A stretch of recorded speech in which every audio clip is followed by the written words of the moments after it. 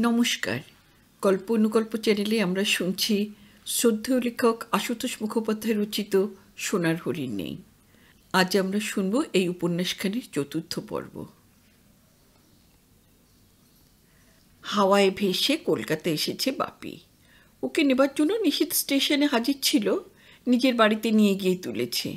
বাপি ওকে চিঠিতে লিখেছিল, দুদিন ওর বাড়িতে থেকে জ্যাঠুতো দাদার, অর্থাৎ মনিদার বাড়িটা খুঁজে নেবে। আপাতত সেখান থেকেই চাকরি করবে। মণিদার বাড়ির ঠিকানা জানা থাকলে তাকেও চিঠি লিখত। কিন্তু জানে না, ঠিকানা বানারজুলির বাড়িতে কোথাও পড়ে থাকতেও পারে। বাপি স্মরণশক্তি প্রখর। মণিদা কাস্টমসে চাকরি করে এটুকু আজও মনে আছে। কারণ বাবা এক রাতে ঠাট্টা করে তাকে বলেছিল কাস্টমসের চাকরি তো মাইনে থেকে উপরই বেশি শুনেছি। বাবার কথায় মণিদা খুব এসেছিল কিন্তু মণিদার আপিসের ঠিকানাই বা পাবে কোথায়? যে একটা চিঠি লিখে জানাবে, ও আসছে। শনিবার সকালে এসে পৌঁছেছিল নিশীত সেদিন ছুটি নিয়েছে। ও প্রায় বছরখানেক আগেই চাকরিতে ঢুকে গেছে, ওর আপিস ডালহৌসিতে। কেরানি হলেও আপার ডিভিশন। শনি, রবি দুটো দিন সকাল থেকে রাত পর্যন্ত ঘুরে ঘুরে নিশিতকে কলকাতা দেখাল। চিড়িয়াখানা, মিউজিয়াম, বটানিক্যাল গার্ডেনও বাকি থাকল না। ঠাট্টা করে বলল সব দেখে রাখ। এই প্রথম কলকাতায় এসেছিস বুঝতে পারলে কি বলবে জানিস তো লোকে? লোকে তোকে বাঙাল বলবে। দেখে শুনে গোড়ায় বাপি হাঁ হয়ে গিয়েছিল, এটা সত্যি কথা। বইয়ে পড়েছিল, আজব শহর কলকাতা। তো এমন তাজ্জব রকমের আজব, কে জানতো? Tram, bus, lorry, taxi, motor ঠেলা রিক্সার মিছিল দেখে দুদিনেই মাথা ঝিমঝিম করেছে। গোটা কলকাতা শহরটা যেন সদা ব্যস্ত। ছুটছে আর ছুটছে। আসার সময় ট্রেনে বাসে ঘুরে ফিরে মিষ্টির কথাই বেশি মনে এসেছিল। কোথায় আছে ওরা এখন জানে না, কিন্তু বাপির বদ্ধ ধারণা কলকাতায় আছে। মিষ্টি একদিন কথায় কথায় বলেছিল, একটু উঁচু ক্লাসে উঠলেই ও কলকাতায় দাদুর কাছে থেকে পড়াশুনো করবে। ওর মাতে বাবাতে নাকি সেই রকমই কথা হয়ে আছে। ট্রেনে আরও কিছু মনে পড়াতে বাপির হাসি পেয়ে গিয়েছিল। নাওয়া খাওয়া ভুলে দু দুবার সে বিশাল ছাপা সরকারি গেজেটেনে পড়া। কেন সে শুধু ওই জানে? সেই থেকে বিশ্বাস আরও বদ্ধমূল। আর কেউ থাকুক বা না থাকুক, মিষ্টি অন্তত কলকাতাতেই আছে। আর একদিন না একদিন মিষ্টির সঙ্গে দেখা হয়ে যাবেই। একটা ক্রূর অভিলাষ ভিতর থেকে ঠেলে উঠতে চেয়েছে। কলকাতায় চাকরি হওয়াটা সে অনেক বড় হওয়া আর সুদ নেওয়ার প্রথম ধাপ। কিন্তু এই কলকাতা দেখে বাপি হকচকিয়ে গেছে। ওদের হদিশ মেলা তো দূরে থাক, এই ব্যস্ত সমস্ত শহর থেকে মণিতাকে খুঁজে বার করবে কি করে সেটাই ভেবে পেল না। মণিতাকে না পেলেও অবশ্য ঘাবড়াবার কিছু নেই। হাতে চারশো টাকার মতো মজুদ আছে। চাকরির মাইনেই কোনো মেসে থাকার খরচা চলেই যাবে। তবু নতুন জায়গা একটু অভ্যস্ত না হওয়া পর্যন্ত মণিদাকে পেলে ভালোই হয়। যে জন্যে কলকাতায় আসা, সেটা আর যাই হোক লোয়ার ডিভিশন কেরানির চাকরি নয়। এরকম চাকরি বাপি চার বছর আগে ঘরে বসে করতে পারত। করবে না বলেই ঘর ছেড়েছিল, বাবাকে ছেড়েছিল। চার বছর বাদে বিএসসি পাশ করবার পর সেই লোয়ার ডিভিশন চাকরি তো মনে ধরবার কথা নয়। আকর্ষণ একটাই, কলকাতা। বড় হতে চাও তো বড় গণ্ডিতে এসে বসো।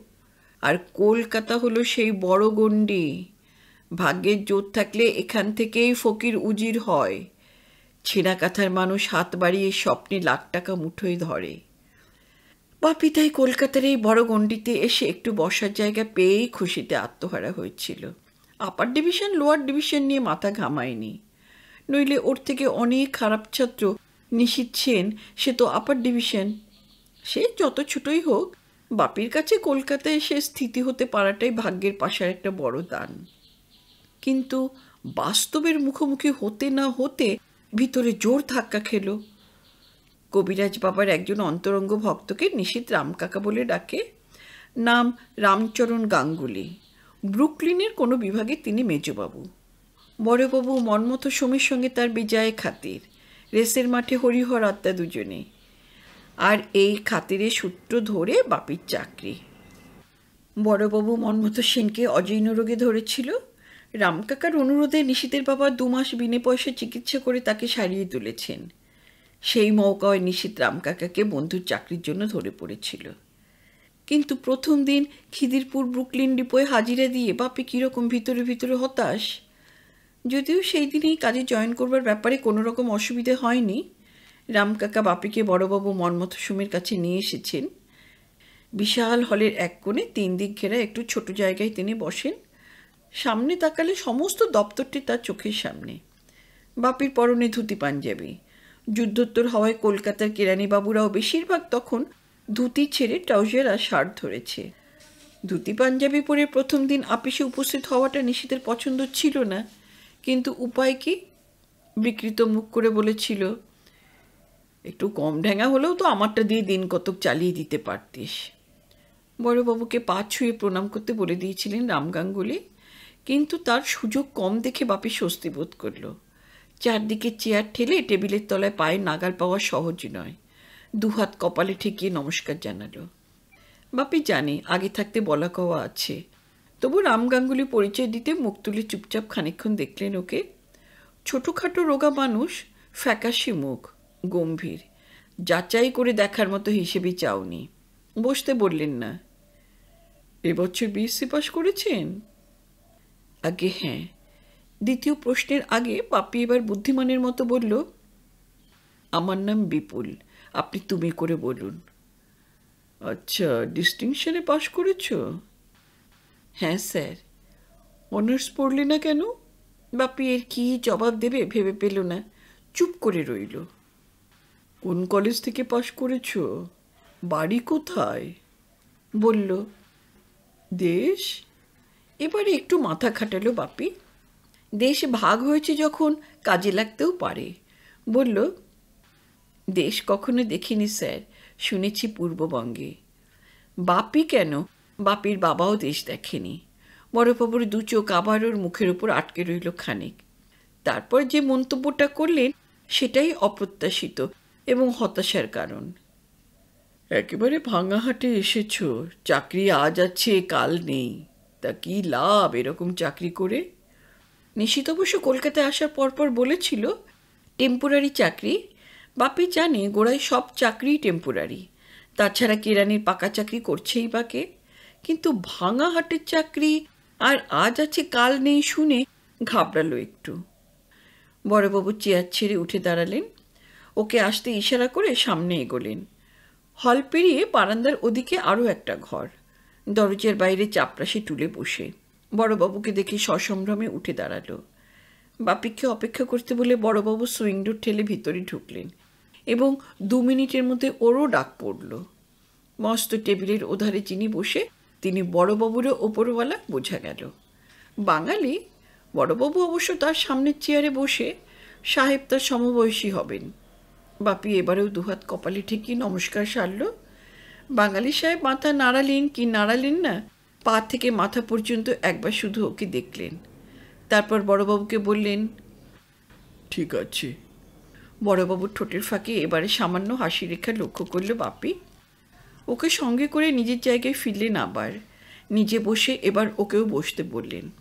সেই ফাঁকে আবার একটু দেখেও নিলেন। বয়স্ক কত বাইশ। বয়স পছন্দ হলো নাকি আর কিছু? বাপি সঠিক বুঝে উঠল না। বয়সই হবে বোধ হয় কারণ আর একবার মুখ থেকে বুক পর্যন্ত চোখ বুলিয়ে নিয়ে আবার বললেন, ম্যাট্রিক সার্টিফিকেটের বয়স যাই থাক, ঠিক ঠিক বয়স কত? বলতে বলতে একটা ছাপা ফর্ম বাড়িয়ে দিলেন ওর দিকে। আর বয়সের জন্য তোমার চাকরি আটকাবে না, আমার তো তেইশ, চব্বিশ মনে হচ্ছে। চাকরি পাওয়ার আগ্রহটাই বাপির সব আপাতত। প্রতিবাদ না করে বুদ্ধিমানের কাজ ভাবল, জবাব দিল, হতে পারে স্যার, সার্টিফিকেটে কমানো আছে কি না সেটা বাবা জানতেন। হতে পারে শুনে অখুশি নন ভদ্রলোক। তার ঠোঁটের হাসিটুকু চেষ্টা করে হাসার মতো। তেমনি একটু হেসে মন্তব্য করলেন, নানা আশায় ছেলের দুই এক বছর বয়স সব বাবাই কমিয়ে লেখান। ওই ফর্মটা ফিল আপ করো, আর সার্টিফিকেটের বয়সই লিখবে। অর্থাৎ উনি ধরেই নিলেন, বাপির বয়স তেইশ চব্বিশের কম নয়। পৃথক দরখাস্ত করারও দরকার হলো না। ফর্ম ফিল আপ করা হতে উনি খসখস করে কী লিখলেন, নিজের নাম সই করলেন, তারপর সেটা নিয়ে আবার চলে গেলেন। মিনিট পাঁচ সাত বাদে খালি হাতে ফিরলেন। চেয়ারে বসে আবার একটু চেয়ে রইলেন। আর ভদ্রলোকের এই দেখাটাই কেন যেন অস্বস্তিকর বাপির কাছে। রামবাবুর মুখে তোমার সব কথা শুনেছি। তা বাবা মা তো নেই। ভাই বোন বা অন্য কোনো আত্মীয় পরিজনও নেই? রামবাবুর মুখে শোনা মানে নিশীতের মুখে শোনা। সে কি বলেছে, না বলেছে, কে জানে? তাই জ্যাঠুতো দাদার কথাও বলা গেল না। জবাব দিল, না, স্যার। খুব সদয় মুখ করে বললেন ভেরি আনফর্চুনেট যাক, কাজটা কিছুই নয়।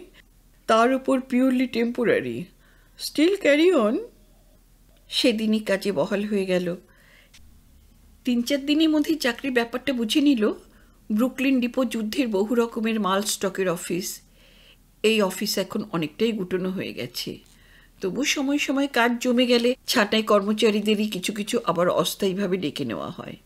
বাপির ছাঁটাই মার্কা না হলেও বড়বাবুর কল্যাণে ঢুকে গেছে। নিশীতের উপর গোড়ায় একটু অভিমানী হয়েছিল বাপির। এরকম চাকরির জন্য এভাবে ছুটে আসতো কিনা সন্দেহ। মাইনে ষাট টাকা ডিয়ারলেস অ্যালাউন্স আঠেরো সর্বসাকুল্যে মাস গেলে আটাত্তর টাকা। মিজাজ খারাপ করে নিশীতকে বলেই ফেলেছিল কথাটা। নিশীত কানে তোলেনি, বলেছে, ওই বড়বাবুটির ক্ষমতা কত জানিস না? লেগে থাক, আর ভদ্রলোকের মন রেখে চল তো। উনিশ বিশ একই কথা রামগাঙ্গুলিও বলেছেন বড়বাবু কাউকে রাখবেন বলে ধরে রাখলে তাকে হটানো অত সহজ নয়, বুঝলে? বাজে ভাবনা না ভেবে তার মন রেখে চলো। মন রেখে কি করে চলতে হয় বাপির তো সেটাই ভালো জানা নেই চাকরির মাসখানেকের মধ্যে কপাল দেখা রতন বণিক ওর বসংবাদ হয়ে ওঠার পর সেও বলেছে, আপনি হলেন গিয়ে বড়বাবুর লোক। আপনার রিট্রেঞ্চের ভাবনা কি? বড়বাবুর ইয়েস তো বড়বাবুর ইয়েস। আর বড়বাবুর ন তো ওনারও নো। বড়বাবুর লোক ভেবেই রতন বণিক ওরও অনুগত হয়ে উঠেছে কিনা, বাপি সেটাই সংশয়।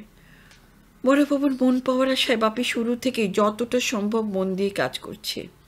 ছুটির পরেও এক ঘণ্টা তিনি আপিসে থাকেন। বেশিরভাগ চাকুরিরা ছুটির সঙ্গে সঙ্গে হাওয়া হয়ে যায়, কিন্তু বাপি তার নির্দেশের অপেক্ষায় বসে থাকে। বাপির ধারণা, মুখে কিছু না বললেও ভদ্রলোক ভিতরে ভিতরে খুশিই হন একটু। মনিদের বাড়ির হদিশ মিলেছে চাকরিতে ঢোকার চার দিন বাদে। অফিস পালিয়ে নিশিতার স্ট্যান্ড রোডের হেড অফিসের ঠিকানার খোঁজে গিয়েছিল। বরাতক্রমে যে ঘরে ঢুকে নিশীত মণিলাল তরফদারের খোঁজ করছিল, ভদ্রলোক সে ঘরেই দাঁড়িয়ে কার সঙ্গে কথা কইছিল। নিজের নাম কানে যেতে এগিয়ে এসেছে। মনিদা নিজেই বাড়ির ঠিকানা দিয়েছে আর বাপিকে চলে আসবার কথা বলেছে। পার্ক সার্কাসের দিকে ঠিকানা। নিশীত তাকে বলে এসেছে, বাপি রোববার যাবে। খবরটা দিয়ে নিশীত মন্তব্য করেছে হ্যাঁ রে তোর মনিদাকে দেখে তো সেরকম কোনো বড় চাকরিটা করে মনে হলো না। বলেছিলে কাস্টমসে ভালো চাকরি করে? আরে পরনে তো দেখলাম ওই ঢলঢলে ট্রাউজার আর গায়ে একটা টুইলের শার্ট। তাও তো সেরকম পাট ভাঙা পরিষ্কার নয়। পাপির ধারণা ছিল মনিদা ভালো চাকরি করে, তাই বলেছিল। এ কথা শোনার পর সেখানে থেকে চাকরি করার কতটা সুবিধে হবে সেই ভাবনা মনিদার বাড়ির হদিশ মিলতে এছাড়াও একটু অস্বস্তি। আট বছর আগে বানারজুলির একটা সকাল আর দুপুর ভিতরের কোনো গোপন সুরঙ্গ থেকে বেরিয়ে আসতে চাইছে। নিজের ছেলেবেলাটাকে এক এক সময় একেবারে শেকড় শুদ্ধ টেনে ছিঁড়ে ফেলে দিতে ইচ্ছে করে বাপির। রবিবার সকালে নিশিতকে বাড়ির সেকেলে গাড়িতেই পৌঁছে দিয়ে গেল। নিজে ঢুকলো না, কারণ বাবা তাড়া দিয়ে রেখেছে। রবিবার সকালে বাবার কাছে হাতে কলমে কাজ শিখতে হয়। কবিরাজি ওষুধপত্র বানাতে হয়। কিন্তু বাইরে থেকে মনিদার ফ্ল্যাট দেখেই ও হয়তো অপ্রস্তুত একটু। বেশ ভালো চাকরি না করলে এই জায়গায় এরকম ফ্ল্যাটে থাকা সম্ভব নয়। রাস্তার উপর শেষ বাড়িটা মনিদার। সামনে ছোট একটু পার্কের মতো খোলামেলা জায়গা। নিচের দরজার সামনে দোভাজি লুঙ্গি করে কাপড় পরা একটি লোক দাঁড়িয়ে। নিশিত তাকে জিজ্ঞাসা করতে সে দোতলাটা দেখিয়ে দিল। ওকে ছেড়ে নিশিত নিশ্চিন্ত হয়ে চলে গেল। একতলায় মাদ্রাজি পরিবারের বাস মনে হলো, বাপি পায়ে পায়ে দোতলায় উঠে এলো। হাতে রংচটা টিনের সুটকেস আর ময়লা শতরঞ্চি মোড়া দড়ি বাঁধা শীর্ণ সজ্জা সিঁড়ির মুখে দরজা পেরিয়ে ভিতরে পা দিতেই হাতের জিনিস দুটো বেমানান লাগল। এও বেশ বড়সড় একখানা ঘরের মতোই। বিস্কুট রঙের তক্তকে মেঝে, মাঝামাঝি ডাইনিং টেবিলের চারদিকে চেয়ার। বাপি কখনো টেবিল চেয়ারে ভাত খায়নি। তবু সস্তার জিনিস যে ওগুলো নয়, সেটা আঁচ করতে পারে। টেবিলে শৌখিন পেয়ালা আর ছোট বড় ডিশ পড়ে আছে। একটু আগেই বাড়ির লোকেরা প্রাতরা সেরে উঠে গেছে, বোঝা যায়। ওদিকে দেওয়াল আলমারির কাচের পাল্লা দিয়ে ঝকঝকে ক্রকারি সেট দেখা যাচ্ছে। সামনে পরপর তিনটে ঘর, পুরো পর্দা ঝুলছে। শেষের ঘর থেকে রেডিওর গান কানে আসছে। হাতের টিনের সুটকেস আর বিছানার পুটলি চট করে চোখে পড়বে না এমনভাবে এক করে রাখল বাপি। তারপর প্রথম ঘরের পর্দাটা সরিয়ে দেখল। এটা বসার ঘর। গদি সোফা সেট, ডিভান সাজিয়ে রাখা আছে। বাপের হকচুকিয়ে যাওয়া দাখিল। পর্দা সরানোর সঙ্গে সঙ্গে প্রথম চোখাচোখি যার সঙ্গে সে বছর ছ সাতেকের একটি ছেলে। আজ ছোঁয়া হয়ে একটা পাতলা বইয়ের মতো পাতা উল্টাচ্ছিল। আর একখানা পা হাতলের ওপর পাশের সোফায় মনিদার চোখের সামনে খবরের কাগজ মুখে আধখানা চুরুট, পরনে চকচকি লুঙ্গি, গায়ে জালি গেঞ্জি। বাবা! দরজায় অপরিচিত লোক দেখে ছেলেটা মনিদাকে ডাকল। মনিদার মুখের উপর থেকে কাগজ সরল, চুরুটটা হাতে নিয়ে এক গাল হাসি। কাগজ ফেলে সোফা ছেড়ে উঠল। কত বড় হয়ে গেছিস রে পাপি আয় আয়, বাড়ি চিনতে অসুবিধে হয়নি তো? বাপি হাসি মুখে মাথা নাড়ল। না, অসুবিধা হয়নি। তারপর এগিয়ে এসে মনিদাকে একটা প্রণাম ঠুকলো। তিনটে ঘরেরই মাঝখানে একটা করে ভিতরের দরজা, বাইরের বারান্দার দিকেও একটা করে দরজা, ভিতরের দরজার পর্দাগুলো তোলা এখন। মনিদা হাঁক দিলেন, কই গো, কে এসেছে দেখে যাও? হাঁক শোনার আগেই ওই শেষের ঘর থেকে গৌরী বৌদি ওকে দেখে এগিয়ে আসছিল। ওই ঘর থেকে রেডিওর গান শোনা যাচ্ছিল। সেটা এখনও চলছে। কে এলো বা কে আসবে জানাই ছিল নিশ্চয়ই। কিন্তু এগিয়ে আসতে আসতে গৌরী বৌদি যেন খুব পরিচিত মানুষ দেখছি না। এ ঘরে পা ফেলার আগেই বাপি যেটুকু দেখা দেখে নিয়েছে। সামান্য মোটার দিকে ঘেঁষেছে গৌরী বৌদি। নইলে আট বছর আগে যেমন ছিল, এখনও তেমনিই আছে। তখন কুড়ি ছিল বয়স, এখন আঠাশ হবে। এই আট বছরে মনিদা ফুলে আরও গোলগাল হয়েছে, ফলে তাকে আরও বেঁটে দেখায়। কিন্তু সামান্য মোটা হবার ফলে গৌরী বৌদিকে আগের থেকে একটু লম্বা মনে হয় আর দেখতেও সুন্দর লাগছে। মনিদা জিজ্ঞাসা করলেন, কি, ওকে চিনতে পারো? গৌরী বৌদি সে হাসি মাখা চকচকে চোখ দুটো পরিষ্কার মনে আছে বাপির। তখনই মনে হতো, ওই দুটো চোখ দিয়েই গৌরী বৌদি অনেক কথা বলতে পারে। এখন কতটা পারে জানি না, এখন সামান্য একটু হাসি শুধু ছুঁয়ে আছে। পাপি দিকে তাকিয়েই বলল জানা ছিল বলে পারছি, না থাকলে পারতুম না। খাসা মানিক মানিক চেহারাখানা হয়েছে এখন। বাপি তাকেও একটা প্রণাম সারতে গেল। তার আগেই গৌরী বৌদি দুপা সরে গিয়ে বলল, না না, প্রণাম টুনাম দরকার নেই, বসো। জোয়ান মর্দের ছেলে পায়ে হাত দিতে এলে ভীষণ বিচ্ছিরি লাগে। বাচ্চার ছেলেটা বই হাতে সেইভাবে সোফায় আছোয়া হয়ে নতুন লোক দেখছিল আর মা বাবার কথা শুনছিল। তার দিকে চোখ যেতেই গৌরী বৌদি সামান্য মেজাজ চলল। এই ছেলে নবমের মতো শুয়ে শুয়ে কি পড়া হচ্ছে তোর? ছেলে সোজা হয়ে বসল। কি করব? বাবা তো শুধু কাগজই পড়ছিল, স্কুলের পড়া দেখিয়ে দিচ্ছিল না। এমন সামান্য কারণেও গৌরী বৌদির চকচকে চোখে বিতৃষ্ণায় দেখল যেন বাপে কথাগুলো রুড়ো একটু। সমস্ত দিন তো বাইরেই কাটাও সকালের একটা ঘণ্টা যদি না দেখতে পারো, তো কাল থেকেই ওর জন্য একটা মাস্টার ঠিক করে দিও। কৈফিয়ত দাখিলে সুরে মনিদা বলল আজ রোববার তো, দেবক্ষণ দেখিয়ে। হুম, তোমার কাছে তো ওর বারো মাসই রোববার। ছেলের দিকে ফিরল, যা, ও ঘরে গিয়ে নিজে যা পারিস পড়গে যা, আমি আসছি। আর শোন, রেডিওটা বন্ধ করে নিস। বাপি লক্ষ্য করছে মায়ের মতোই মুখ ছেলের। মনিদার আদলের ছিটে ফুটাও নেই। মনপুত হোক বা না হোক, মায়ের হুকুমে উঠে চলে গেল। এদিকে পর্দা ঠেলে দরজার কাছ থেকে গলা একটু চড়িয়ে গৌরী বৌদি বলল, এই ভিকু, চায় জল চড়াও। আর দেখো তো মির্সেফে কি খাবার আছে? বানার চুলিতে নতুন বউ গৌরী বৌদির সঙ্গে, এই গৌরী বৌদির কিছু একটা বড় তফাত এর মধ্যেই চোখে পড়ছে বাপির। বানার চুলি থেকে ফেরার আগে বাপিকে গাল টিপে আদর করে এসেছিল মনে আছে। এই গৌরী বৌদির আর কিছু না হোক, মেজাজ বেশ বদলেছে বোঝা যায়। সোফায় বসে মনিতা নেভানো চুরুটটা আবার ধরিয়েছে। দরজা ছেড়ে এদিকে আসতে একটু সহজ আবার তাগিদে বাপি বলল ইয়ে বলছি সকালে চা জল খাবার খেয়েই বেরিয়েছিলাম। ওর মুখোমুখি সোফাটায় বসল গৌরী বৌদি। কেন? এখানে জুটবে কি না জুটবে ভেবে? বাপি তাড়াতাড়ি বলল না না, তা কেন? যতবার দেবে ততবার খেতে পারি। চট করে অন্য প্রসঙ্গে ঘুরে গেল। ছেলেটাকে এমন তাড়া দিয়ে তুমি পড়তে পাঠালে যে আমি কে সে জানলও না। তা ও কি পড়ে? রোববারে ওর কি এত পড়া? চুরুটের ধোঁয়া ছেড়ে ঘরের ছাদের দিকে তাকিয়ে মনিদা বলল, ক্লাস ওয়ান রে। ভাগ্যে বাপি হেসে ফেলেনি। কারণ সঙ্গে সঙ্গে রুষ্ট চোখের একটা ঝাপটা খেলো মনিদা। সঙ্গে ঝাঁঝালো কথারও। ক্লাস ওয়ান হোক আর যাই হোক, সঙ্গে নিয়ে না বসলে ওইটুকু ছেলে নিজে থেকে দিগ্গজ হয়ে যাবে? উইকলি রেজাল্ট টেজাল্টগুলো তো চোখ তাকিয়ে দেখি কখনো দেখেছ একবার? লজ্জা করে না। মুখ নেড়ে আবার কথা বলছে। মুনিদের মুখখানে একটু চুপসেই যেতে দেখল বাপি। তাড়াতাড়ি ওই আবার সামাল দিতে চেষ্টা করল। তুমি কিছু ভেবো না বৌদি, এবার থেকে আমি ওকে নিয়ে বসবো। তা ওর কি নাম? গৌরী বৌদি জবাব দিল না। এবার মনিতার আগ্রহ দেখা গেল। তাই তোরে, তোর সেই বন্ধুটি বলছিল, ডিস্টিংশনে বিএসসি পাশ করে তুই এখানে এসে কি একটা চাকরিতে ঢুকেছিস।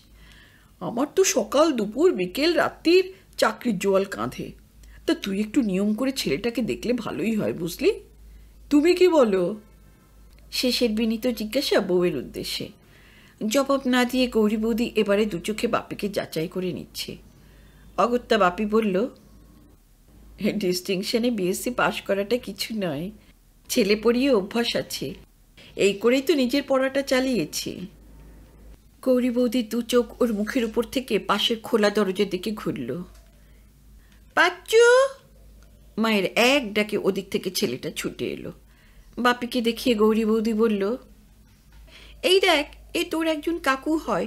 এখানে থাকবে। কাল থেকে রোজ সকালে আর সন্ধ্যায় এই কাকু তোকে পড়াবে, বুঝলি? পাপি দেখল গৌরী বৌদির মুখখানা একটু প্রসন্ন এখন। ছেলের জন্য দুশ্চিন্তা দেখে প্রথম সুযোগে পড়ানোর প্রস্তাব দিয়েছে। এখানে থাকা খাওয়ার বিনিময়ে যেটুকু করা যায় এই আর কি। তবু আধ ঘণ্টা হয়নি এসেছে। মুখের কথা বলার সঙ্গে সঙ্গে গৌরী বৌদি ছেলেকে ডেকে ওই ফয়সলা করে ফেলার মধ্যে এই বিনিময়ের হিসেবটুকুই যেন বেশি স্পষ্ট হয়ে উঠল। মনিদা বা গৌরী বৌদি এ পর্যন্ত পিসি বা বাবার সম্পর্কে একটি কথাও জিজ্ঞাসা করেনি। ছেলেটা সোজা তাকিয়ে কাকুর মুখখানা একবার দেখে নিল। আর এই জিপটি বিপজ্জনক কিনা সেটাই বোঝার চেষ্টা। না, সেরকম মনে হলো না ছেলেটার। মায়ের দিকে ফিরে জিজ্ঞাসা করল, মাস্টার কাকু, মা? মাস্টার ঠিক করার কথা প্রায়ই শোনে, তাই এই প্রশ্ন। না, বাপি কাকু জঙ্গলের কত রকম গল্প বলবে তোকে শুনিসক্ষণ কিছু মনে পড়তে গম্ভীর মুখে সামান্য হাসির আভা ছড়ালো। কি মনে পড়তে পারে বাপে সেটা সেই মুহূর্তে আঁচ করে নিয়েছে। ছেলের গলায় অভিমান ঝরল। জঙ্গলে গল্প শুনবে। আজ পর্যন্ত আমাকে তুমি চিড়িয়াখানায় দেখালে না? এবারে কাকু দেখাবে ক্ষণ। এখনও এক ঘণ্টা পড়তে হবে। যা, বই নিয়ে বসকে যা। দ্বিতীয়বার বলতে হলো না। বাচ্চু চলে গেল। ভিকু বাড়ির আধপুরো চাকর। তার সামনে ডিশে কিছু খাবার আর এক পেয়ালা চা রাখল। দাদা বৌদির সামনেও এক পেয়ালা করে চা রেখে প্রস্থান করল। পেয়ালা তুলে নিয়ে গৌরী বৌদি আলতো করে জিজ্ঞাসা করল, জঙ্গলে জন্তু জানোয়ারদের আর কি নতুন ভালোবাসাবাসি দেখেছিস? ডিশের খাবার সবে একটু মুখে তুলেছিল, বাপের বিষম খাবার দাখিল। মাথাটাও ঝিমঝিম করে উঠল। ভিতরের গোপন সুরঙ্গ থেকে এক দুপুরের দৃশ্যটা বেরিয়ে আসার জন্য টানা ঝটপট করছে। বানারজুলি জঙ্গলে সেই একটা দিন মনিদাও ভোলেনি হয়তো।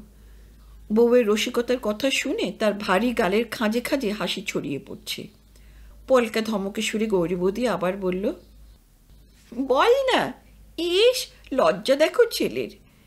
পাপির মনে হয় গৌরী বৌদি ওকে সেই আট বছর আগের মতোই বোকা ভাবছে। এখনই সেই বোকা বোকা ভাবটাই ধরে রাখার চেষ্টা বাপির। লোকের চোখে ধুলে দেবার মতো। এর থেকে ভালো কৌশল তার আর জানা নেই। হাসতে চেষ্টা করে বোকার মতোই বলল, এ, তখন কি কিছু বুঝতাম নাকি? বানারজুলিতে এই গৌরী বৌদির মুখে অনেক রকমের খুশির ছটা দেখেছিল বাপি। মুখে খিলখিল হাসি দেখেছিল। জঙ্গলে যাবার আগে পাট ভাঙা শাড়ি পরার পর ওকে পিছনের পায়ের দিকটা টেনে দিতে বলেছিল। আর উদ্ভট ফরমাসটা না বুঝে বাপি উপুর হয়ে বসে শাড়ির ওপর দিয়ে দু হাতে তার একটা পা চেপে ধরে কি করে টানবে ভেবে পাচ্ছিল না। গৌরী বৌদি তখন ওকে হাঁদা বলেছিল আর হেসে সারা হয়েছিল। তারপর জঙ্গলে ওর সেই সব কথা শুনে মুখে আঁচল চাপা দিয়ে ফুলে ফুলে এসেছিল আর ঘন ঘন সেই হাসি মনিদার দিকে ঠিকরে পড়ছিল। এই পরিস্থিতি অতটা হাসি না হলেও বাপির মনে হয়েছে গৌরী বৌদি এখন আর সেরকম হাসে না বা হাসতে পারে না। ধার ধার মুখের এই হাসির মধ্যে যেন কিছু হিসেব লুকোনো আছে। না, অপচয় নেই। ঠোঁটের ফাঁকে এমনি একটু হাসি খেলে গেল, ভুরুর মাঝে হালকা ভাঁজ পড়ল একটু। এখন সব বুঝে ফেলেছিস? তারপরে আত্মস্থ, যাক, জঙ্গলে গল্প করতে গিয়ে ছেলের মাথায় আবার এসব ঢোকাতে চেয়েও না কিন্তু। বাপি তক্ষুনি মাথা নাড়ল, অমন কাজে সে করবে না। এর ফলেও গৌরী বৌদি কয়েক পলক চেয়ে রইল। এই বয়সের ছেলে সরলতা দেখে ভিতরে ভিতরে মজা পাচ্ছে হয়তো গৌরী বৌদি। মনিতা প্রসঙ্গ ঘোরালো, ওর চাকরির খোঁজ নিল, শোনার পরে বীতশ্রদ্ধ। বিএসসি ডিস্টিংশনে পাশ করার পর এই চাকরি করতে তুই ছুটি এলি? তা মাইনে কত? গৌরী বৌদির সামনে এ প্রশ্নটাই যেন কাম্য ছিল। অকপটে বলে দিল, ওই সব মিলিয়ে মাসে আটাত্তর টাকা। দেখো কাণ্ড। হাল ছাড়া চোখে মনিদা একবার তার বউয়ের দিকে তাকালো। তারপর ওকেই বলল, এরকম কেরানির চাকরি করবি তো আমাকে জানালি না কেন? আমার ওখানে চেষ্টা করে দেখতাম। কাকাও তো লিখতে পারতো। বাবা, চার বছর আগে মারা গেছেন। তোমাকে বললাম না, টিউশনি করে নিজের পড়া চালিয়েছি। গৌরী বৌদি নির্লিপ্ত, কিন্তু মনিদা অপ্রস্তুত একটু। হ্যাঁ? সে কি রে? জানব কি করে বল? তুইও তো কিছু লিখিসনি? পিসির মারা যাওয়ার খবর অবশ্য কাকা জানিয়েছিল। বাপি তাড়াতাড়ি কাজের কথায় ফিরে এলো। এই চাকরিও একেবারে টেম্পোরারি কবে আছে, কবে নেই, তা তোমার ওখানে এখনও একটু চেষ্টা করে দেখো না, মনিদা। মনিদার গলায় এবারে অতটা উৎসাহ নেই। বলল, দেখি। কিন্তু এটুকু আসার মুখেও গৌরী বৌদি ছাই ঢেলে বসল। যাক, তোমাকে আর দেখতে হবে না। যা করছে করুক, পরে দেখা যাবে খন তোমার ওখানে ঢুকে পরের ছেলে হাত করা পড়ুক শেষে। পাপি অবাক, সত্যি মাথায় কিছু ঢুকলো না। মনিদা সামাল দিতে চেষ্টা করল, না, বললেই কি চাকরি হওয়া অত সহজ নাকি? আরও কিছু বলতে যাচ্ছিল বাইরের চটির শব্দে ঘাড় ফেরালো, এসো, সন্তু, এসো। মনিদার ওখানে ঢুকলে হাত করা কেন পড়তে হবে, তখনকার মতো বাপের সেটা দুর্বোধ্যই থেকে গেল। দামি চটির আওয়াজ তুলে পর্দা ঠেলে যে ঘরে ঢুকলো, সে বেশ লম্বা একজন স্বাস্থ্যবান পুরুষ। বয়স বত্রিশ তেত্রিশের মধ্যেই গায়ের রং ফর্সা, মুখ সুন্দর নয়, পরনে দামি কাপড়ে সাদা পাজামা আর গায়ে মুগার পাঞ্জাবি। পাঞ্জাবি দুটো হাতেই পাঁচ ছ আঙ্গুল করে গোটানো, এক হাতের আঙুলে ঝকঝকে সাদা পাথরের আংটি, অন্য হাতে নীল পাথরের। ডান হাতের পুষ্ট কবজিতে মস্ত একটা সোনার ঘড়ি। পাঞ্জাবির বুক খোলা, তার একদিকে সোনার চেনে সোনার বোতাম আটকানো আর সবকটা বোতামের মাঝখানে একটা করে পাথর ঝিকমিক করছে। ওগুলোর নামে হিরে কিনা বাপি জানে না। ভদ্রলোক নতুন মুখখানা দেখে নিয়ে বলল, তা রোববারের আড্ডা জমে গেছে দেখছি? সোফায় মনিদার পাশে বসল। মনিদার নেভা চুরুট অ্যাসপটে গুঁজতে গুঁজতে পরিচয় দিল, আমার তো ভাই, বাপি। ও এসেছে উত্তরবঙ্গে সে বানারজুলি জঙ্গল থেকে এখানে চাকরি করতে। তাই ওর সঙ্গে একটু গল্প করছিলাম। জলপাইগুড়ি পাঁচটা বছর মনিদার মাথায় নেই। ব্যাকব্রাশ চুলের দরুন ভদ্রলোকের কপালখানা বেশি চওড়া দেখায়। সে তুলনায় চোখ দুটো সামান্য ছোট। হাসিমাখা চাওনি বাপের মুখের উপর। হালকা মন্তব্য করল, জঙ্গল থেকে এসেছে বলছো, কিন্তু ভাইয়ের মুখখানা তো দেখে মনে হচ্ছে বৃন্দাবন থেকে আসছে। মনিতা জোরেই হেসে উঠল। কিন্তু বাপির চোখ তখন গৌরী বৌদির দিকে। মুখের ধার ধার ভাব মিলিয়ে গেছে। রসিকতা উপভোগ করল। হাসির সঙ্গে আবার একটু ঠেসও ছুঁড়ে দিল। তোমার কি আর অত ভুল হয়? জঙ্গল থেকে এলেও ওর ভেতরখানে বৃন্দাবন থেকে আসার মতোই। সাদা কথায় আবার বোকাই বলা হলো ওকে। কিন্তু শুধু ওর ভিতর বোঝানোর জন্য গৌরী বৌদি যেন কথাগুলো বলল না। মনিদার এতেও হাসি। তারপর বাপের সঙ্গে পরিচয় করিয়ে দিল। শোন এ হলো সনদ চৌধুরী, মস্ত কন্ট্রাক্টর ওই যে পাশের বাড়িটা, ওইটা ওর। বাপের খুব ইচ্ছে করছিল, উঠে এসে সনদ চৌধুরীকেও একটা প্রণাম ঠুকে গৌরী বৌদিকে বুঝিয়ে দেয়, সত্যি কত জল ভাত ছেলেও কিন্তু পেরে উঠল না, কোনো রকমে দুহাত জুড়ে নমস্কার সারল। পকেট থেকে শৌখিন সিগারেট কেস বার করে ভদ্রলোক নিজের ঠোঁটে একটা সিগারেট ঝুলিয়ে কেসটা বনিতার দিকে বাড়িয়ে দিল। মনিদা বলল, সিগারেট তো খাই না, তবে তোমার দামি সিগারেট দেখলে লোভ হয়। দাও। সিগারেট ধরিয়ে সনদ চৌধুরী হৃষ্ট মুখে বাপের দিকে তাকালো। ভাইয়ার এখানে থাকা হবে নাকি? হ্যাঁ বা না, কিছুই না বলে বাপি হাসতে চেষ্টা করল একটু। সিগারেটের ধোঁয়া ছেড়ে মনিদা বলল হ্যাঁ কলকাতায় আমি ছাড়া ওর আর কেউই নেই। এই প্রশ্ন আর জবাবের মধ্যে গৌরী বৌদি মজার কি পেল বাপি জানে না। কিন্তু মজাটুকু শুধু চোখেই ঠিক রইল। মুখে বলল, আমাদের তো মোটে তিনখানা ঘর। সন্তুর ওখানেও পাঠিয়ে দিতে পারো। অত বড় বাড়িতে একলা একলা থাকে, দুজনেরই উপকার হবে নাম ধরে টাকাটা বাপের কানে ধরা পড়েছে সনত বা সন্তু চৌধুরীর হাসিমাখা ভ্রুকুটি গৌরী বৌদির দিকে। আচ্ছা তা উপকার হবে বলছো? কীরকম উপকার হবে? ওই একটু চালাকচিতের হবে। আর তুমিও সৎসঙ্গ পাবে। বাপি ছাড়া সকলেই হাসছে। কিন্তু শুধু মনিতার হাসিটা বোকা বোকা লাগছে বাপির। মনিদা বলল, যাই, বাজারটা সেরে আসি। সন্তু চৌধুরী তক্ষুনি বলল, চলো, আমিও যাই। গরিবও তো সঙ্গে সঙ্গে চোখ পাকালো। এই এক রাশ বাজার করে এনে আমাকে হেসেলে পাঠানোর মতলব? সন্তু চৌধুরীর সাদামাটা জবাব, ছুটির দিনে আমার শুধু একটু ভালো খাওয়ার মতলব। সেটা তোমার ওই ভিক্ষুর দ্বারা সম্ভব হলে তুমি হেসেলে যাবে না? এ কথার ফাঁকে বাচ্চু লাফাতে লাফাতে ঘরে ঢুকে সোজা সন্তু চৌধুরীর কোলে এসে জাঁকিয়ে বসল। সন্তু কাকু, মা বলেছে আমি ওই বাপি কাকুর সঙ্গে এবারে চিড়িয়াখানা দেখতে যাব। ও তাই নাকি? সে তো খুব ভালো কথা। কবে যাবে?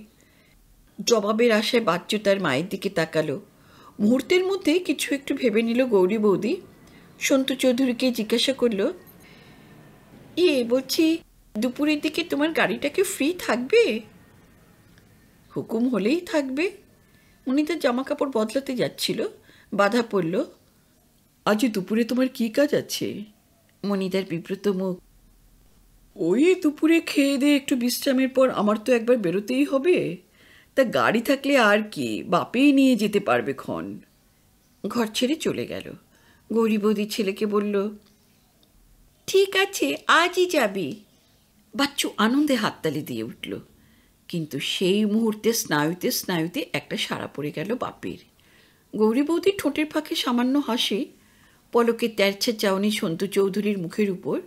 বাপের মনে হলো, গৌরী বৌদির ছেলেকে শুধু খুশি করল না, পলকের ওই কটাক্ষে সন্তু চৌধুরীর প্রতিও কিছু যেন অযাচিত করুণার আশ্বাস।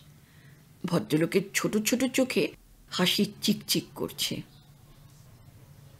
সুখ কাকে বলে?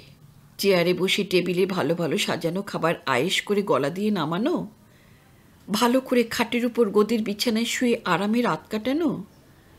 তা যদি হয় তো দেড়টা মাস বেশ সুখেই কেটে গেল বাপির বাইশ বছরের মধ্যে এমন সুখ আর আরামের নাগাল বাপি আর কখনো পায়নি।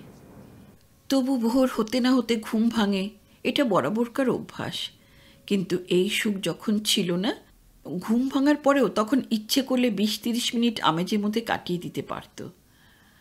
ঘুম ভাঙার সঙ্গে সঙ্গে এখন এই গদির শয্যা পিটে পিটে খোঁচা মেরে তাকে তুলে দেয়। খাটপাতা মাঝের ঘরটা সম্ভবত অতিথি অভ্যাগতের জন্য, কিন্তু দেড় মাসের মধ্যে বাপি একমাত্র পাশের বাড়ির সন্তু চৌধুরী ভিন্ন এই ফ্ল্যাটে অন্য কোনো নতুন মুখ দেখেনি। শুধু খাট নয়, দেওয়াল ঘেঁষে চকচকে ড্রেসিং টেবিলও আছে একটা। জিনিসপত্র রাখার দেওয়াল আলমারিও আছে। ড্রেসিং টেবিলের পাশে আলনাও। গৌরীবৌদি বাপের জন্য এই ঘরটাই বরাদ্দ করেছে। খাটে নিজের ছেঁড়া খোড়া বিছানা বালিশেরও ঠাঁই হয়নি। গৌরী বৌদি বলেছে এই, তোর ওই রাজসজ্জা এখানে চলবে না। যা, ওগুলো সরিয়ে রাখ। নিজেই চাদর, বালিশ আর একটা সুন্দর বেড কভার বার করে দিয়েছে। বলেছে, শোন, সব সময় পরিষ্কার পরিচ্ছন্ন রাখবি, বুঝেছিস? আমি একদম নোংরা দেখতে পারি না। গোড়ায় তিন চার দিনের মধ্যে নিশিতর খবর নিতে এসেছিল। থাকার ব্যবস্থা দেখে ওরও চমক লেগেছিল। লোয়ার ডিভিশন হলে কি হবে? আমি তো দেখছি তুই রাজার হালে আছিস। তাহলে তোর মনিদা বড় চাকরি করেন, বোঝা যাচ্ছে।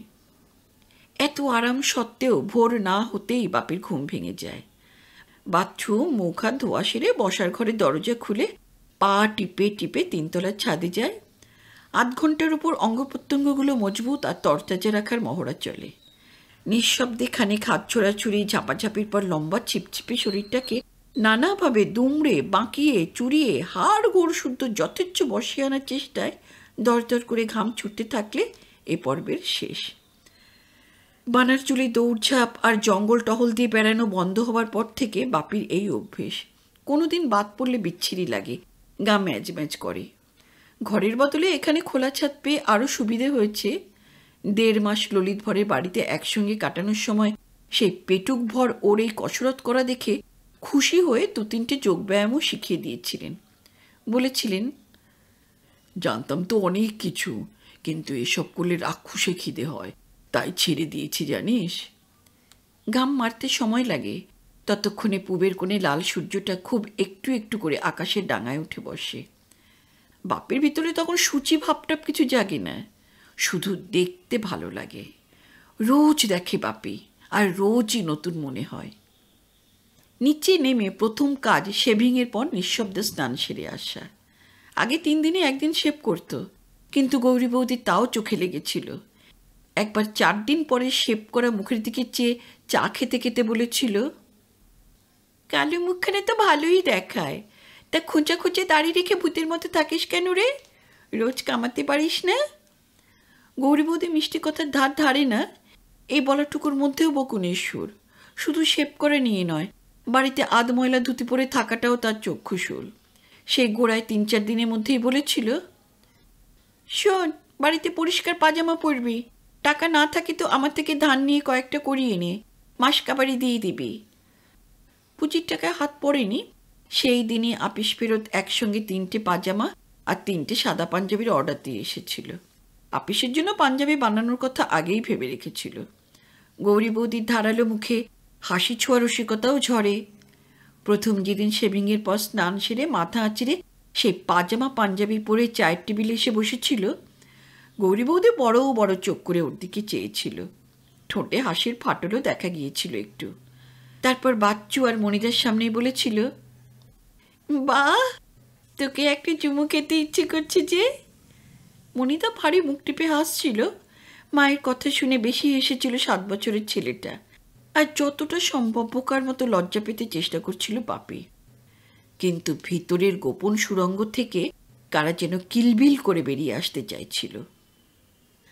স্নান সারা হবার পর পাপির একটা বড় কাজ কাতুকুতু দিয়ে আর খুনসুটি করে বাচ্চুর ঘুম ভাঙানো। এখানে আসার চার পাঁচ দিনের মধ্যে মায়ের কাছে বায়না তুলে বাচ্চু তার শয্যা বদল করেছে। এতদিনে ছেলেটা বাড়িতে প্রায় নিঃসঙ্গ ছিল। কার সঙ্গে কথা বলবে? কার সঙ্গে খেলা করবে? সন্তু কাকা অবশ্য খুব ভালো। ওকে অনেক রকমের খেলনাও কিনে দেয়, ছবির বই কিনে দেয়, ওর জন্য বড় বড় লজেন্স চকোলেটের বাক্স নিয়ে আসে। কিন্তু এক রবিবার সকালে ছাড়া তাকে আর পাচ্ছে কতটুকু? সন্ধ্যার পরে যখন আসে, তখন কেবল মায়ের সঙ্গেই আড্ডা দেয়। বাচ্চুকে তখন পড়ার বই নিয়ে একা একাই বসতে হয়। বাবা বেশিরভাগ দিন সকাল দশটায় বেরিয়ে রাত দশটার আগে বাড়ি ফেরে না। যেদিন আগে এসে পড়ে, সেদিন বাচ্চুরও খুব মজা। বাবা ওর সঙ্গে গল্প করে, খেলা করে, নিজের হাতে খাইয়ে দেয়। মায়ের সঙ্গে সব থেকে কম ভাব বাচ্চুর। মা মারে টারে না, কিন্তু একটু কিছু হলেই এমন করে তাকায় যে তাতেই ওর কান্না পায়। মা কখনো ওর সঙ্গে খেলে টেলে কিনা বা ওকে আদর করে কিনা জিজ্ঞাসা করতে ছেলেটা পরিষ্কার জবাব দিয়েছিল। মা খেলতেও জানি না মা আদর টাদর করতেও জানি না। দুদিনের মধ্যেই বাপি কাকুকে খুব ভালো লেগেছে বাচ্চুর। ওর ভিতরেও তো কত কথা জমা হয়, কিন্তু সেসব শোনার বাড়িতে আর দ্বিতীয় লোক নেই। বাপি কাকু শোনে, হাসে আর ওর বুদ্ধির তারিফ করে। বিকেলে আপিস থেকে ফিরে ওকে নিয়ে বেড়াতে যায়, নয়তো দুজনে ছাদে গিয়ে হুটোপুটি করে। কিন্তু খেলাধুলো বা ছুটোছুটিতে এত বড় মানুষটা কেন যে সবসময় ওর সঙ্গে হেরে যায় বাচ্চু ঠিক বুঝে উঠতে পারে না। আর কত রকমের মজার মজার গল্প করে পড়ায়, পড়তে তখন একটুও খারাপ লাগে না বাচ্চুর। রাতে বাপি কাকুর সঙ্গে শোয়ার হুকুম মিলেছে এই পড়াশোনার ছুতো ধরে। বাবা মা ঘুম থেকে ওঠে সাড়ে সাতটায়। বাচ্চু তারও পড়ে মুখ, হাত, ধোয়া আর সকালে খাওয়া সেরে পড়তে বসতে বসতেই সাড়ে আটটা। ওদিকে নটা বাজতে না বাজতে বাপি কাকুর আপিসের তারা সকালে কখন পড়াবে? অথচ বাপি কাকু ওকে বলেছে, সকাল সকাল ঘুম থেকে উঠতে পারলে বাবা মা ওঠার আগে ওর পড়াই শেষ হয়ে যেতে পারে। কিন্তু ও সকালে উঠে কেমন করে? পাঁচ, সাত দিনের মধ্যে ছেলে পড়াশুনোর উৎসাহ তার মা ঠিকই লক্ষ্য করেছে আর ফাঁকে ফাঁকে সকাল সন্ধ্যায় বাপিকে পড়ানোর ব্যাপারটাও ঠিকই দেখেছে। যত হাঁদাই ভাবুক, গরিবের ছেলের এদিকে যে কিছু পটুতা আছে, সেটা তার মনে হয়েছে। এই জন্যেই শেষের ছেলের বাপি কাকুর সঙ্গে শোয়ার অনুমতি মিলেছে। বাপের ঠিক ছটায় ওকে ঠেলে তোলে। মুখ হাত ধুইয়ে পড়তে বসতে বসতে সাড়ে ছটা। আটটার মধ্যেই পড়া শেষ। অত ভোরে বিছানা ছেড়ে উঠতে সহজে চায় না, কিন্তু ওঠার পরে ওইটুকু সকালের মধ্যে স্কুলের সব পড়া সেরে ফেলার মজাটাও জানা ছিল না। আর প্রথম দিনেই ওর পড়া নিয়ে বাপি কাকু সাহস দেখে তো বাচ্চু অবাক। চায়ের পাট শেষ হতে মা বলেছিল, যা আবার বই নিয়ে বসকে মায়ের হুকুম হলে বাচ্চু প্রতিবাদ জানে না। বাচ্চু কেন? কেউ জানে না। কিন্তু বাপি কাকু টক করে বলে দিল, সকালে দেড় ঘণ্টা টানা পড়া হয়ে গেছে, আবার বই নিয়ে কি বসবে? ওকে বলেছে, না রে, এখন আর পড়তে হবে না। তোর খেলার জিনিস কি আছে বার করতো আমি দেখব। তারপর আবার হেসে হেসে মাকে বলেছে, আমার হাতে ছেড়েছ। কটা দিন সবুর করে দেখো না। বাচ্চু ভেবেছিল মা রেগেই গেল। বাপি কাকুর দিকে ভুরু কুচকে একটু তাকিয়েও ছিল। তারপর বাবার দিকে ফিরে কীরকম মজা সুরে বলেছিল, হুম, আবার দেমাকও একটু আছে দেখি। শুধু হাঁদাই নয়, আবার দেমাকও একটু আছে, বুঝলে? বাপির আপি সেই খিদির পুরে। নটার মধ্যে সে একলাই ভাত খেতে বসে যায়। মনিদা সাড়ে নটায় খেতে বসে। তার আগে বাপি খাওয়া শেষ করে বেরিয়েই পড়ে। সকালে খাওয়ার সময় কেউ তদারক করতে আসে না। তবু ভিকুর কল্যাণে সকালে সেই তারার মধ্যেও খাওয়াটা ভালোই জোটে। দশটা পাঁচটার অফিস, লোয়ার ডিভিশন হলেও সেখানকার আপার ডিভিশনরাও ইদানিং ওর প্রতি তলায় তলায় ঈর্ষান্বিত একটু। তার কারণ, বড়বাবু মনমথ সুমের অহেতুক স্নেহ। আর সেই স্নেহ যে এখন বাড়তির দিকে, সেটা বাপি সব থেকে ভালো অনুভব করতে পারে। বড়বাবুকে হাসতে বড় একটা কেউ দেখে না। কিন্তু ওর সঙ্গে কথা বলার সময় মনমথ সেন একটু একটু হাসেন প্রায়ই ওকে নিজের খুপড়িতে ডেকে নিয়ে সামনে বসিয়ে কাজ করান। সকলের চোখে, আর বাপির চোখে তো বটেই, এও একটা ভাগ্যের লক্ষণ। কাজের ফাঁকে অন্য কথাও দু চারটে বলেন। বাপি এখন কোথায় আছে তাও জেনে নিয়েছেন। অত দূর থেকে ট্রামবাসে ভিড় ঠেলে ঠিক দশটায় হাজিরা দেওয়া ধকলের ব্যাপার।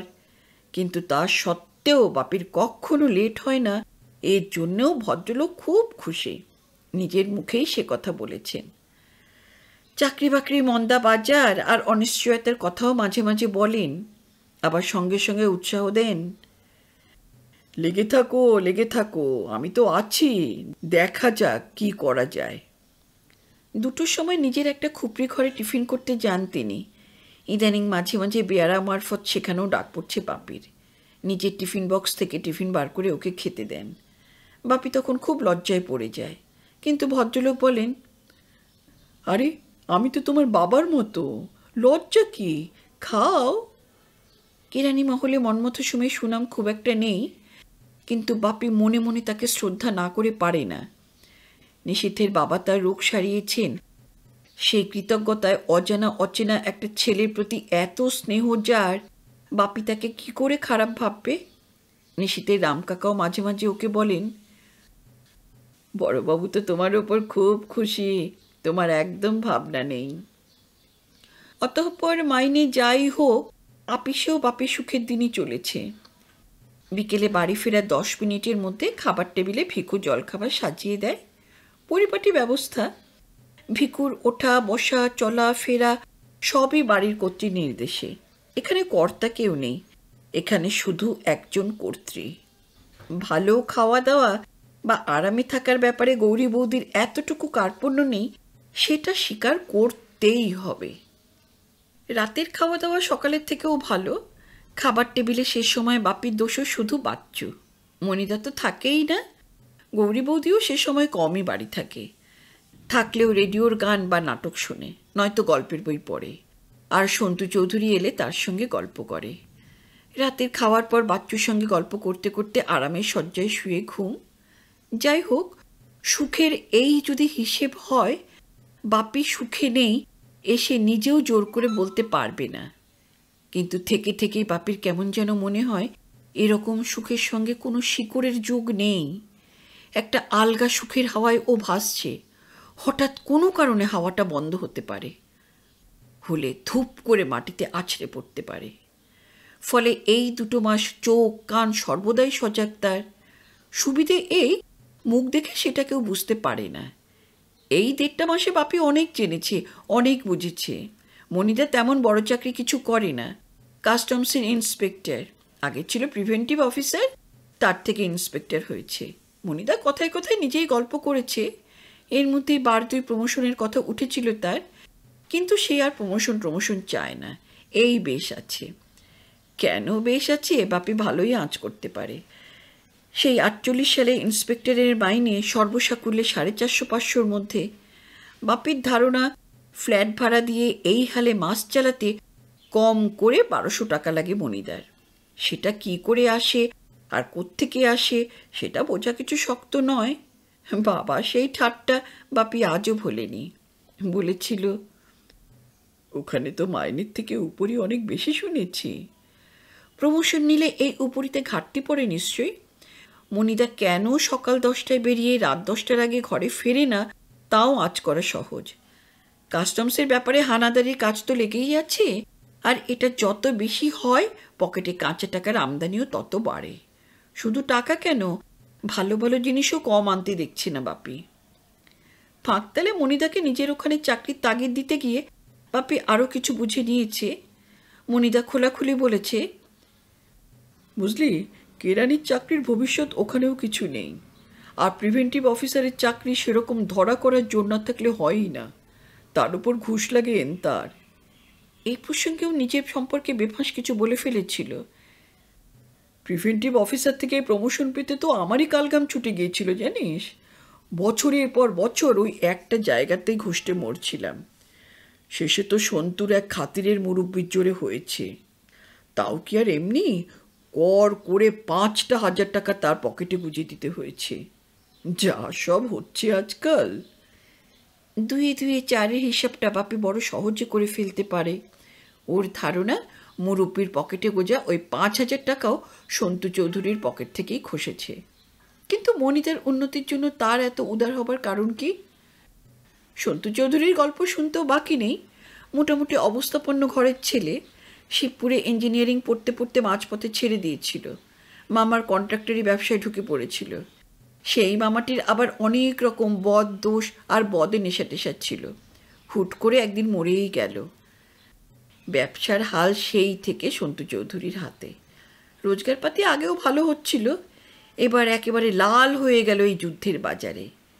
ধুলো মুঠি ধরলেই সোনা। বাপি বোকা বোকা মুখ করে জিজ্ঞাসা করেছিল ভদ্রলোকের এত টাকা করি, তবু এত বয়স পর্যন্ত বিয়ে করলেন না কেন? আরে, কত আর বয়স? ও বত্রিশ তেত্রিশের বেশি হবে না। তা করবে হয়তো একদিন। হেসে হেসে মনিদা বলেছিল, জানিস তো, মেয়ে যাত্রার ওপরেই ওর বিতৃষ্ণা। এখন যারা এগিয়ে আসে, তারা নাকি কেবল ওর বাড়ি, গাড়ি আর টাকা দেখে এগিয়ে আসে। ওকে দেখে নয়। আর মামার সঙ্গে যখন ছিল তখন নাকি একটা মেয়েকে দেখে ওর মনে ধরেছিল। আর স্মার্ট ছেলে দেখে সেই মেয়েও বেশ ঝুঁকেছিল। কিন্তু কিন্তু মামার ফার্ম সেটা শুনে বাড়ির লোক ছেড়ে সেই মেয়েও বেঁকে গেল। সেই মামার ফার্মে তখনও চার আনার মালিক হয়ে বসেছে। রাগের চোটে সেটা আর বললই না। আর একবার এক জায়গায় বিয়ে প্রায় ঠিকই হয়ে গিয়েছিল। কিন্তু সেই বাড়ির লোকেরা চুপি চুপি ওর ব্যাংক ব্যালেন্সের খবর নিচ্ছে। এইসব দেখে শুনে ও রেগে মেগে বিয়ে ভণ্ডুলি করে দিল। আসলে ও একটু স্নেহের কাঙাল, বুঝলি? তোর বৌদির কাছে ওই স্নেহটুকুই পায় সেই জন্যই তো কেনা হয়ে আছে। মনিদার এভাবে বলার আগ্রহটা ওর শোনার আগ্রহ থেকে কম নয়। বৌদির স্নেহ আর অন্যজনের কেনা হয়ে থাকা নমুনা বাপি এই দেড় মাস ধরেই দেখছে। অবাকও লাগে। এর মধ্যে রাখা ঢাকার কোনো ব্যাপার নেই। রোববার সকালে ভদ্রলোকের বেশি বাজার করা এবং এখানে খাওয়া প্রায় বরাদ্দ। তাছাড়া সপ্তাহের মধ্যে সাত দিনই গৌরী বৌদি সন্ধ্যার পর হয় নিজের শোবার ঘরে বসেই তার সঙ্গে আড্ডা দিচ্ছে, নয় তার গাড়িতে হাওয়া খেতে বেরোচ্ছে। নয়তো ছটা নটার শোতে সিনেমা বা থিয়েটার দেখতে যাচ্ছে। মনিদা সাধারণত রাত দশটার আগে ফেরে না। কিন্তু গৌরী বৌদি মাঝে সাঝে রাতের খাওয়া সেরে আরও পরে ফেরে। এ নিয়ে মনিদের মুখে কখনো কোনো অভিযোগে লেশমাত্র দেখেনি পাপি। এমনকি ফেরার পর কোথায় গিয়েছিল সেই খবরও নেয় না। গৌরী বৌদি নিজের থেকে বলল, তো শুনল? বানার চুলে সেই হাসি খুশি গৌরী বৌদির এত উন্নতি দেখে বাপি তাক লেগে যায়। দুনিয়ার কাউকে যেন কেয়ার করবার কিছু নেই তার। স্নেহ পাওয়া আর কেনা হয়ে থাকা নমুনা দেখে এখানকার প্রথম সকালেই বাপির স্নায়ুগুলো একপ্রস্থ নাড়াচাড়া খেয়েছিল। মনিতা কাজে যাবে, আর সন্তু চৌধুরীর গাড়িতে বাপির সঙ্গে ছেলেকে চিড়িয়াখানা দেখতে পাঠানোর ব্যবস্থা করেছিল গৌরী বৌদি। তার পলকের কটাক্ষে সন্তু চৌধুরীও যেন কিছু অযাচিত করুণার আশ্বাস পেয়েছিল। ওরকম দেখাটা বা ভাবাটা নিজের একটা বিতিকিচ্ছিরি রোগ ভাবতে চেষ্টা করেছিল বাপি। কিন্তু না নিচের দুটো চোখ ওকে বড় একটা ঠকায় না। বাপির এখন হাসি পায়। মনিদার কথা ভেবে অবাক হয়, আবার একটু দুঃখও হয়। মনিদা সত্যিই কি কিছু বোঝে না? আর রাগ হয় এই ছোট্ট ছেলেটার দিকে তাকালে। কাকুকে পেয়ে বাচ্চু যেন পড়তে গেছে। তবে গৌরী বৌদিও বাপির উপর সদয় এখন, কারণ ছেলে। দেড় মাসের মধ্যে শেষের পর পর চারটে উইকলি রিপোর্টে বাচ্চু ক্লাসে ফার্স্ট মাথা খাটিয়ে পড়াটা আনন্দের জিনিস করে তুলতে পারলে আরে নিয়ম করে দুবেলা নিয়ে বসলে ওটুকু ছেলে ফার্স্ট না হওয়াটাই তো আশ্চর্য। বৈঠকখানায় বসে রবিবারে সেই সকালে বাচ্চুকে পালোয়ানের গল্প শোনাচ্ছিল বাপি। আর সামনে সেই পালোয়ানের ছবির বই খোলা। গৌরী বৌদি এসে দাঁড়াল আর বিনা ভূমিকায় জিজ্ঞাসা করল আপিসের চাকরি কেমন চলছে গো তোমার? তাৎপর্য না বুঝে বাপি বলল খাড়া তো ঝুলছেই। যে কোনো দিন গলায় নেমে এলেই হলো। গৌরী বৌদি বলল, শোনো, তোমাকে অত ভাবতে হবে না। সন্তুকে বলে রেখেছি, ও নিয়ে নেবে। আজ এলে তুই কথা বলে নিস তো? ছেলের ফার্স্ট হওয়ার পুরস্কার, সেটা বুঝতে অসুবিধা হলো না। বাপের ফাঁপড়ে পড়া মুখ। আমতা আমতা করে জবাব দিল, না না, এরকম চাকরিতে একজনের মর্জির উপর ভালো মন্দ। তার থেকে ওই কাস্টমসে কিছু হয় কি না সেটাই দেখো না বৌদি। সে গোড়ার দিনে তুমি মনিদাকে বলেছিলে হাত করা পড়তে হবে। তার লোপটোপের মধ্যে কি না পড়লে হাত করা কেন পড়তে হবে? ভুরু কুচকে তাকালো গৌরী বৌদি। অখুশি আবার একটু অবাকও। এই ছেলে এমন কথা বলতে পারে ভাবিনি। বলল আচ্ছা মাথা তো বেশ খেলে দেখছি। তা কাস্টমসের চাকরি কি আমার হাতের মুঠোয়? যে তুই চাইলি আর আমি দিয়ে দিলাম। বাইরে চটির শব্দ। বাপি আর কিছু বলার ফুরসত পেল না। সন্তু চৌধুরী ঘরে ঢুকলো আর হেসে প্রথমে ছেলেটাকে তোয়াজে সুরে জিজ্ঞাসা করল, বাচ্চু বাচ্চু বাবুর এখন কি করা হচ্ছে? গল্প আর খেলার মাঝে মায়ের এসে দাঁড়ানোটা বাচ্চুর তেমন পছন্দ হয়নি। সোৎসাহে নিজের জগতে ফেরার ইচ্ছে। বলল, বাপি কাকুর কাছে পালোয়ানের গল্প শুনছিলাম। জানে তো, আমিও পালোয়ান হয়ে গিয়েছি। বাপি কাকুকে একবার পাঞ্জায় হারিয়ে দিয়েছি। আর একবার হারাবো দেখবে। গল্পের ফাঁকে এই কসরত একবার হয়ে গিয়েছিল। সোফায় বসে হাসি মুখে সন্তু চৌধুরী তাল দিল, বেশ বেশ, কেমন পালোয়ান হয়েছ দেখা যাক। ও বাপ্পি কাকু চলে এসো না। সামনের ছোট টেবিলে কনুই রেখে আর এক প্রস্ত পাঞ্জা লড়ার মহড়া হলো। বাপ্পি কাকুর হাত নড়ছে না দেখে আগের বারের মতো বাচ্চু তার ছোট্ট শরীরটা ওই হাতের উপর চাপিয়ে দিতে পাপি হাল ছেড়ে হার মানল। সিগারেটের ধোঁয়া ছেড়ে সন্তু চৌধুরী হাসি মুখে মন্তব্য করল, ওকে অতটা টকানো উচিত নয় ব্রাদার তোমার কিন্তু ড্র করা উচিত ছিল। ছোট্ট ছেলেটা কি বুঝলো সেই জানে। চ্যালেঞ্জে সুরে বলে উঠল, তুমি পারবে বাপি কাকুর সঙ্গে জিততে? লড়ো তো, লড়ো লড়ো তো দেখি। সন্তু চৌধুরীর খুশির মেজাজ তাকেও ছেলে মানুষিতে পেয়ে বসল। সিগারেট অ্যাশপটে গুঁজে সিল্কের পাঞ্জাবির হাত গোটাতে গোটাতে এগিয়ে এলো। পরিপুষ্ট বাহু হালকা ব্যঙ্গে সুরে বলল, ওকে জোয়ান বানাচ্ছ? চলো, তোমার নিজের কেরামতিটা দেখা যাক। এই ছেলে মানুষের দেখেই হয়তো গৌরী বৌদির ঠোঁটের ফাঁকে হাসির আভাস একটু। বাচ্চু আনন্দে হাততালি দিয়ে উঠল, আর বাপি যেন একটু বিড়ম্বনার মধ্যে পড়ে গেল। বলল ইয়ে বলছি লেগে টেগে যাবে না তো? শুনে জোরেই হেসে উঠল সন্তু চৌধুরী। বলল, তোমার পক্ষে ওই বাচ্চুই তাহলে নিরাপদ। আমতা আমতা করে বাপি বলল, না না, আমি আপনার কথা বলছিলাম। সন্তু চৌধুরী থমকালো এবার। ছোট চোখ গোল হলো। নিরীহ গোছের এই শেষের কথা শুনে গৌরী বৌদিও কম অবাক নয়। আমার লেগে যাবে? এসো এসো, দেখাই যাক একবার। কার লেগে যায়? টেবিলের সামনে সোফায় জাঁকিয়ে বসল। এমন কথার পর সমুচিত শিক্ষা তো না দিলেই নয়। মাথায় সমান সমানই লম্বা হবে দুজনে, কিন্তু গায়ে গতরে সন্তু চৌধুরীর হৃষ্টপুষ্ট অনেক বেশি। লোকটার গায়ে জোর কেমন বাপের ধারণা নেই, তবু মনে হয়েছে এই লোককে জব্দ করতে না পারলে সত্যের জোর বলে কিছু নেই। মনে হয়েছে শরীরের জোরটাই তো সব নয়। তাই অমন কথা অতি সহজে ওর মুখ দিয়ে বেরিয়ে এসেছিল। টেবিলে কোনোই রাখল, হাতে হাত মিলালো। ও ঘর থেকে মনিদাও এসে হাজির তখন, মজা দেখছে। বাচ্চুর উত্তেজনা চরমে, আর গৌরী বৌদি যেন অবিশ্বাস্য কিছু দেখছে। নিঃশ্বাস বন্ধ করে চাপ দিয়ে বাপের হাত নোয়াতে চেষ্টা করছে সন্তু চৌধুরী। কিন্তু হাতটা যেন মাটিতে পোঁতা লোহা একখানা। ফর্সা মুখ টকটকে লাল হয়ে উঠেছে সন্তু চৌধুরীর। নভেম্বরের গোড়ায় হালকা ঠান্ডা সত্ত্বেও কপালে বিন্দু বিন্দু ঘাম ঝরছে। বাপের মুখে ছেলে মানুষই কৌতুক। এক একবার ভদ্রলোকের মুখের দিকে তাকাচ্ছে আর মিটি মিটি হাসছে। ও যেন তাকে সুযোগ দিচ্ছে, সময় দিচ্ছে। হাত সোজা রেখে সোজা হয়ে বসল একটু। তারপর জোর বাড়াবার সঙ্গে সঙ্গে মুখের হাসিটুকু ধরে রাখার চেষ্টা বাপির। ও জিতবে সেটা অবধারিত এখন।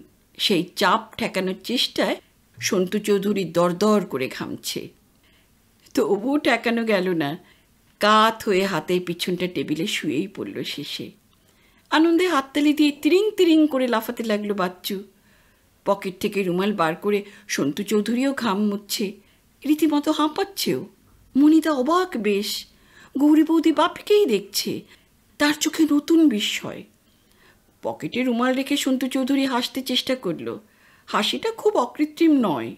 বাপির অন্তত মনে হলো তার পুরুষকার ঘা খেয়েছে। সন্তু চৌধুরী হেসেই বলল কনগ্রাচুলেশনস তোমার চেহারাখানা বেশি রিসেপটিভ ভায়া। না বুঝি ঠকেছি। বাপি লজ্জে লজ্জে করে সোফা ছেড়ে উঠল। বাচ্চুকে নিয়েও ঘরে যাবে। আর তখনই কেন যেন একটু উদার হতে চাইল সন্তু চৌধুরী। বলল তোমার বৌদি আমার ফার্মে নিয়ে নেবার কথা বলছিলেন তোমাকে। তা একদিন বাড়িতে এসো, আলোচনা করা যাবে। বাপি নিরুত্তর, একটু বিব্রত। জবাব গৌরী বৌদিই দিল, তেজক সুরে বলল, কোনো একজনের মর্জির চাকরি করবার ইচ্ছে নেই ওর। ও কাস্টমসে ঢুকতে চায়। সন্তু চৌধুরী আবারও যেন তেতো গিলল একটু। না না, তুমি বলেছিলে বলেই বলা। In that case I can't help বাচ্চুর হাত ধরে বাপি তেমনি বিব্রত মুখ করেই বেরিয়ে গেল। পরে সমস্ত দিনের মধ্যে গৌরী বৌদি যে অনেকবার লক্ষ্য করেছে ওকে, সোজা না তাকিয়েও বাপি সেটা অনুভব করেছে। সন্তু চৌধুরী বলেছিল অ্যাপিয়ারেন্স ডিসেপটিভ অর্থাৎ বাইরে যেমন দেখায়, ভিতরে তেমন নয়। চাকরির কথায় আর পাঞ্জা লড়ার ব্যাপার দেখে গৌরী বৌদিরও সেই সংশয়। দিন পনেরো বাদে বাপিরই ভুলে সেই সংশয়ের উপর আবার নতুন আঁচড় পড়ল একটা। রূপা না হলেও কি একটা ছুটির দিন সেটা? মনিদাও বাড়িতে। ফুরসত মিললে তার কাগজ পড়ার বাতিক। বসার ঘরে বসে কাগজ পড়ছিল। এ ঘরে পাপি আর বাচ্চু। ছেলেটার এক্ষুনি বেড়াতে যাবার বায়না। সদ্য কেনা একটা সানগ্লাস পরে গৌরী বৌদি ঘরে ঢুকলো। হাল ফ্যাশনের মোটা লালচে ফ্রেমের চশমা। মস্ত মস্ত দুটো কালচে লাল কাঁচ। চোখ দুটোর ওপর নিচের অনেকটা ঢাকা পড়েছে। ড্রেসিং টেবিলের সামনে দাঁড়িয়ে নিজেকে একটু দেখে নিল, তারপর বাপির দিকে। এই, দেখো তো, কেমন হলো? বাপির মুখ দিয়ে ফস করে বেরিয়ে এলো। বেশ মিস্টিরিয়াস লাগছে। পরক্ষণেই আবার সামাল দিল। বেশ ভালো লাগছে কিন্তু তোমাকে। গৌরী বৌদি নতুন চশমা হাতে নেমে এলো। ভুরু দুটো প্রায় স্বভাবে কুঁচকো এখন। মিস্টিরিয়াস লাগছে মানে বেশ ভালো লাগছে। বাপি আর তার দিকে তাকালোও না, কথাটা বোধহয় কানেও গেল না। বাচ্চুকে তাড়া দিল, এই, যাবি তো চল। গৌরী বৌদি বসার ঘরে চলে গেল। সেখানে সামনে মনিদা গৌরী বৌদির ধার ধার কথা কানে এলো, শোনো, তোমার ওই ভাইকে যত হাঁদা আমরা ভাবি, ও কিন্তু তত হাঁদা নয়, বুঝলে? সন্তুও তো সেদিন ওই কথাই বলছিল। তা কি হলো আবার? মনিদার গলা। গৌরী বৌদির কথা শোনা গেল না। সিঁড়ি দিয়ে ততক্ষণে সে হয়তো নিচে নামছে, কারণ নিচে থেকে তাগিদ দেবার মতো করেই গাড়ির হর্ন বেজে উঠেছে। সরলতার মুখোশ খুলে গেলে সুবিধে হবে না বাপির জানতো, কিন্তু পরের মাসে, অর্থাৎ ডিসেম্বরে মাঝামাঝি ওটা ছিঁড়ে খুঁড়ে একাকার হয়ে গেল। বাপি তার জন্য একটুও প্রস্তুত ছিল না। নভেম্বরের শেষ সপ্তাহে ব্রুকলিনের বড়বাবু মনমথ সোমের ছোট কেরানি বিপুল তরফদারের প্রতি এমন অঢেল স্নেহের কারণটা আকাশ থেকে হঠাৎ একটা গোলার মতো নেমে সোজা ব্রহ্মতালুতে আঘাত করেছে। শনিবার, হাফ ডে, আপিসের কিছু কাজের অছিলায় সেদিন মনমথ সেন তাকে সঙ্গে করে নিজের বাড়িতে নিয়ে গেলেন। থাকেন তিনি হাওড়ায়। ফাইল মেলানো দশ মিনিটেই হয়ে গেল।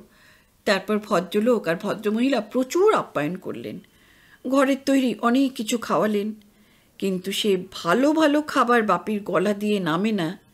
কারণ সেই আপ্যায়নে যোগ দিয়েছে বছর একুশ বাইশের একটি মেয়ে। সোম কর্তাগিন্নির একমাত্র মেয়ে। নাম উষা। ফর্সা আর মোটাসোটা। কিন্তু মুখে কোনো রকম শ্রী লেশমাত্রও নেই। সেই মুহূর্তে বাপি ব্যাপার বুঝে নিয়েছে। আর সেই প্রথমে আর সেই প্রথমে ওর বাইশ বছর শুনে মনমতো সোম কেন খুশি হননি তাও বুঝেছে। এমনকি ছাঁটাইয়ের বাজারে চাকরি কেন পেয়েছিল তাও আর অস্পষ্ট নয়। কর্তাগিন্নি মেয়ের সামনে মেয়ের অনেক প্রশংসা করলেন। পরের সপ্তাহেই একরকম কাজ পোকার মতো মনমতো সোম বাড়ি টেনে নিয়ে গেলেন ওকে। আপ্যায়নের ত্রুটি নেই। এবারে মেয়েকে রেখে কর্তাগিন্নি মাঝে মাঝে উঠেও গেলেন। মেয়ের মুখ দেখেই বাপের মনে হলো সে স্থির জেনে বসে আছে দুজনের সম্পর্কটা কি দাঁড়াবে। বাপির অপছন্দ অপছন্দের যেন কোনো প্রশ্ন নেই। ওই মেয়ের ওকে পছন্দ হয়েছে সেটা স্পষ্ট। সরাসরি প্রস্তাব এলো মেজবাবু রামনারায়ণ গাঙ্গুলি নিশীথের রাম কাকার মাধ্যমে। সঙ্গে লোভের টোপ।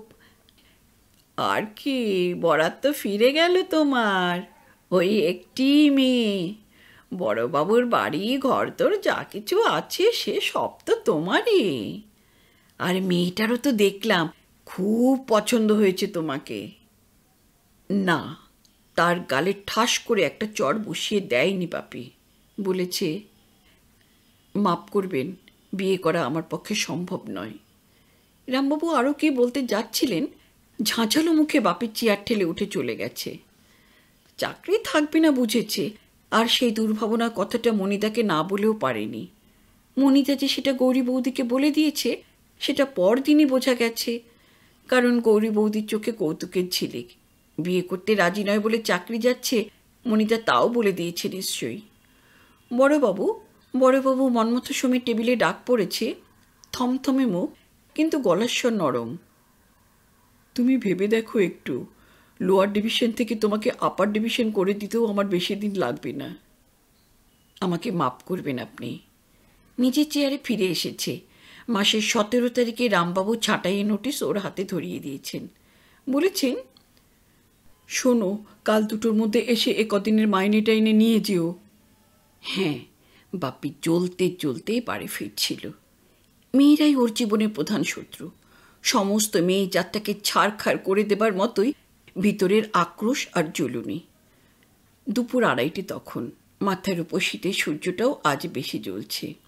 বাপে শর্টকাট করে সামনের ছোট পার্কের ভিতর দিয়ে আসছিল। পা দুটো থেমে গেল। সামনের বারান্দায় গৌরী বৌদি দাঁড়িয়ে আর লাগোয়া পাশের বাড়ি বারান্দায় সন্তু চৌধুরী দাঁড়িয়ে। সে যেন চোখের ইশারায় মাথা নেড়ে নেড়ে নিঃশব্দে কিছু আর্জি পেশ করছে। বাপির মনে হলো গৌরী বৌদিকে ডাকছে বা নিজে আসতে চাইছে। গৌরী বৌদি ঠোঁটে হাসি, চোখে হাসি। অল্প অল্প মাথায় নেড়ে আর্জি নাকচ করছে। রাস্তাটা পার হওয়ার পর দুজনেই দেখল বাপিকে। বাপির স্নায়ু আর নিজের বসে নেই তখন। ওকে দেখে সন্তু চৌধুরীর বিমর্ষ মুখ। গৌরী বৌদি সচকিত একটু। তারপর সন্তু চৌধুরীর দিকে চেয়ে হাসছে। বাপের ঘরের দরজা ভিতর থেকে বন্ধ। বসার ঘর দিয়ে ঢুকতে হবে। এটাও দুপুরে বন্ধই থাকে। খটাখট শব্দে জোরেই করা নাড়ল বাপি। গৌরী বৌদি দরজা খুলে দিল। মুখখানা দেখল একটু ভালো করে। একেবারে অন্যরকম লাগছে। জিজ্ঞাসা করল, এই মুহূর্তে কেন? কে তারা করল তোকে? সঙ্গে সঙ্গে নিজেরই হয়তো কিছু মনে পড়ল। হ্যাঁ রে, এই সময়ে যে চাকরিটা বুঝে গেল। ভিতরের গোপন সুরঙ্গের দরজা খোলা পেয়ে এক মুহূর্তে সে আদিম হিংস্র পশুটার সামনে ঝাঁপিয়ে পড়তে চাইল। বাপির আর অস্তিত্ব বলে কিছু নেই, কাণ্ডজ্ঞান নেই। সামনে খোলা চুল পিঠে ছড়ানো, ঢিলে ঢালা বেশ পাশে যে দাঁড়িয়ে, তার মুখ দেখছে, তার বুক দেখছে। এক উপসী জানোয়ার বড় লোভনীয় গ্রাসের কিছু দেখছে। হ্যাঁ চাকরিটা গেল। তা এ সময় এসে গেলাম বলে তোমার কি খুব অসুবিধে হলো? জবাবটা দেবার আগে হঠাৎ ভয়ানক ঘাবড়ে গিয়ে গৌরী বৌদি তিন পা পিছনে সরে গেছে। আর তারপরে বিস্ময়ের অন্ত নেই তার, সেও চেয়ে আছে। তারপর গৌরী বৌদি পিছন ফিরে ঢিমে তালে এই ঘরের দরজা দিয়ে মাঝের ঘরে, সে ঘরের খোলা দরজা দিয়ে নিজের ঘরে। বাপের বুকের তলার দানবটা তখনও দাপাদাপি থামেনি। বসার ঘরের দরজা বন্ধ করে মাঝের ঘরে, অর্থাৎ নিজের ঘরে এলো সামনের খোলা দরজার দিকে চেয়ে নিষ্পন্দের মতো দাঁড়িয়ে রইল খানিক। স্নায়ুগুলো কাঁপছে। কটা মুহূর্তের মধ্যে কি ঘটে গেল খুব স্পষ্ট নয়। কিন্তু জানোয়ারটা আবার ভিতরে সেঁধিয়েছে। আস্তে আস্তে সামনে এগোলো। খোলা দরজা দুটো শব্দ না করে বন্ধ করতে গেল। আধখানে বন্ধ হবার আগেই আবার নিশ্চল। ও ঘর থেকে গৌরী বৌদি ডাকলো, এই বাপি, শোন তো গলেশ্বর যেমন সহজ, তেমনি নির্লিপ্ত। হাত ভেজানো ঘরের দরজা খুলে ভিতরে এসে দাঁড়াল। গৌরীবৌদি শয্যায় শয়ন, কাঁধের শাড়ি আধখানা খুশে বুকের উপর উঁচিয়ে আছে, ঘাড় ফিরে তাকালো। চোখে হাসি, ঠোঁটেও হাসি। আয়, এদিকে আয়। ভিতরের জানোয়ারটাকে আর চেষ্টা করেও খুঁজে পাচ্ছে না বাপি। কয়েক পা এগিয়ে এলো। অল্প অল্প হাসছে গৌরী বৌদি সেই হাসিটা ওকে শয্যার আরও কাছে টেনে নিয়ে যাবার মতো। তুই এত পাকা হলি কবে থেকে? তোমরা বানারজুলি যাবারও অনেক আগে থেকে। হ্যাঁ? চোখে বিস্ময় ঝরল সেই সঙ্গে আরও কিছু? এই, তাহলে অত বোকার মতো থাকিস কেন রে? তাতে সুবিধে। সুবিধে? কি সুবিধে? লোকে আমাকে বোকা ভাবে, সেই সুবিধে। তেমনি অল্প অল্প হাসছে গৌরী বৌদি। হঠাৎ বানারজুলি সেই ননদ ভাজে সাপড়ে মেয়ে দুটোকে মনে পড়ল বাপের। বিশেষ করে ছোট্ট মিয়ার বউ দুলারিকে। সাপের ছোবল খাবার লোভ, ছোবল খাওয়ার নেশা দুলারির। সাপ যত ফুঁসে সামনে পিছনে, সেই মেয়ে তাতে তত দোলে আর হাত বাড়ায়। গৌরী বৌদির চোখেও সেই লোভ। না, তার থেকেও বেশি কিছু। তাজা কাঁচা একটা পুরুষ দেখছে গৌরী বৌদি। ব্যবিচার বয়স জানে না। ব্যবিচার কিছু মানেও না। অল্প অল্প হাসছে। বলল, এই, বসার ঘরে দরজাটা বন্ধ আছে তো? কেউ ঢুকে পড়লে চেয়ার টেবিল শুদ্ধ যাবে কিন্তু। শয্যার মাথার দিকে দরজার দিকে তাকালো বাপি। ছিটকিনি তোলা। বসার ঘরে দরজা বন্ধ থাকলে তিন ঘরের কোনোটাতে কারও ঢোকার উপায় নেই বটে। দেখছি বাপি ভিতরে দরজা থেকে পা বাড়ালো। পিছন থেকে গৌরী বৌদি বলল, যা, দেখে আয়, তোর সঙ্গে অনেক কথা আছে। ভিতরের জানোয়ারটার অস্তিত্ব শুদ্ধ উবে গেছে। ওর সত্তা বিষাদে ডুবছে। ও তলিয়ে যাচ্ছে। দেয়ালে বাপির আর বাচ্চুর নতুন তোলা ফটো। ছেলেটা দুষ্টু দুষ্টু হাসছে বাপির দিকে চেয়ে। বাপির চোখ দুটো শিরশির করছে।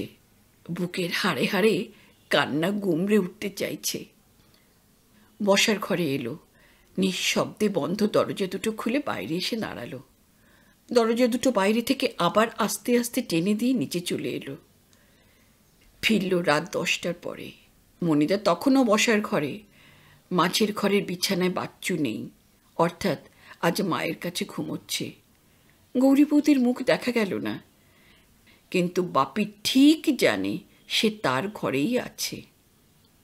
না, পরদিন সকালে মনিদার কোনো শাসন চাবক হয়ে নেমে আসেনি। উল্টে তারই ভীরু মুখ। হামতা হামতা করে বলল, এ, হঠাৎ কি যে হলো তোর বৌদির? তোকে আজই চলে যাবার কথা বলছে। যেতে হবে, বাপি, জানতো। মাথা নাড়ল, যাবে, আজই যাবে বাপি। বাচ্চুর চোখে ধুলো দিয়ে তক্ষুনি বেরিয়ে পড়ল। মাসের ষোলো দিনের মাইনে নেবার জন্য দুপুরে ব্রুকলিনে এলো। বেরিয়ে আসার সময় দুঃখ আর সহানুভূতি জানাতে জানাতে রতনমণি গেট পর্যন্ত এলো। ভালো মানুষ বিপুলবাবুর এত চট করে চাকরিটা চলে যাবে, রতনমণি ভাবতেই পারেনি। কি মনে হতে বাপি বলল, যা হবার তা তো হলো, আমাকে দিন কতকের একটু মাথা গোজার মতো জায়গা বলে দিতে পারো? তুমি কোন দিকে থাকো? ভবানীপুরের দিকে। রতনবণিক অবাক একটু। বাপি হেসেই বলল, আজ থেকে থাকার জায়গাও নেই। যেখানে হোক একটু জায়গা পেলে হতো। টাকাও কিছু দিতাম। রতন বণিকের মুখখানা দরদে ছেয়ে গেল, বলল, একটা খুপড়ি ঘর তো আমারই আছে, কিন্তু সেখানে তো আপনি থাকতে পারবেন না, একেবারে বস্তির মতো। বাপি আশার মুখ দেখল। লোকটা সত্যিই ভালো। আর আর ভদ্রলোকের থেকে অনেক ভালো। সাগ্রহে বলল, আমি খুব পারব, তোমার অসুবিধা হবে না তো? রতন বণিক এরপর ছুটে গিয়ে বাকি সময়টুকুর জন্য ছুটি নিয়ে এসেছে। তারপর বাপি সেই সামান্য মালপত্র বয়ে তাকে সঙ্গে করে টালি এলাকার খুপড়ি ঘরে এসে তুলেছে। গৌরী বৌদি ঘর ছেড়ে বেরোয়নি। বাচ্চু তখন স্কুলে? মনিদা আপিসে। মিষ্টি হাসছে। বাপি তরফদারও হাসছে। মিষ্টি বলল, সেই দোষী তুমি আমার পিছনে আজও লেগে আছো, কি করে বুঝব? আর আমি চিনবই বা কি করে? মাঝির আটটা বছর কি কম নাকি? বাপি বলল, আমি তো গণৎকারের ওখানে তোমাকে দেখেই চিনেছিলাম। মিষ্টি যেমন খুশি, তেমনি অবাক। কি করে চিনলে বলো তো? দশ বছরে যা ছিলাম, এই আঠেরো বছরেও কি তেমনি আছে নাকি? তখন তো ফ্রক পরতাম। বাপি হাসছে, কিন্তু সত্যি কথাটা বলছে না। বানারজুলি দশ বছরে সেই ফ্রক পরা মিষ্টি আর কলকাতায় এই আঠেরো বছরে শাড়ি পরা আর কলেজে পরা মিষ্টি, তারা তো এক নয়, এক রকমও নয়। বানারজুলি ফ্রক পরা মিষ্টির এক মাথা ঝাঁকড়া কোকড়া চুল, লালচে ফোলা ফোলা গাল, বিশ্বাস, অবিশ্বাস আর বিস্ময় মাখা দুটো কালো চোখ। ধরে চিবোতে ইচ্ছে করত। দুটো ফর্সা কচি কচি হাত আর আঙুল, গায়ে বেশ মিষ্টি মিষ্টি গন্ধ। আটটা বছর জুড়লে সেই মিষ্টি যে এই মিষ্টি হয় হে বাপি কল্পনাও করতে পারত না। মাথায় বড় খোঁপা, ফর্সা রঙে মেটে ছোপ ধরেছে, ফোলা গাল আর মুখের আদুরে ভাব গিয়ে অন্য ছাঁদ নিয়েছে। চোখের গোল ভাবটা পর্যন্ত এখন আয়ত গভীর, তাতে বুদ্ধির চোখ কৌতুকেরও। বেশি লম্বাও নয়, বেশি বেঁটেও নয় বেশি মোটাও নয়, আবার বেশি রোগাও নয়। পা থেকে মাথা পর্যন্ত ও যেন এখন কারও হিসেবের তৈরি। হিসেবের বাইরে যেটুকু সেটুকু আরও বেশি লোভনীয়, হিসেবের বাইরে যেটুকু সেটুকু আরও বেশি লোভনীয় বলেই শাড়ি আড়ালে বেশ করে আলগে রাখবা শাড়ির আড়ালে বেশ করে আগলে রাখার চেষ্টা। তবু সর্ব অঙ্গে তার উঁকি ঝুঁকির কামাই নেই। না এই মিষ্টি পাশ দিয়ে হেঁটে গেলে বাপি হয়তো দাঁড়িয়ে যেত, দেখতো, কিন্তু চিনতে পারতো না। জ্যোতিষীর ঘরে ওর মাকে দেখে পলকে চিনেছিল, আর মাকে চেনার ফলে মেয়েকেও চিনেছে। কিন্তু এখন আর বুকের তলায় এতদিনে সেই ভীষণ যন্ত্রণাটা নেই, সেই ভয়ঙ্কর আক্রোশ নেই।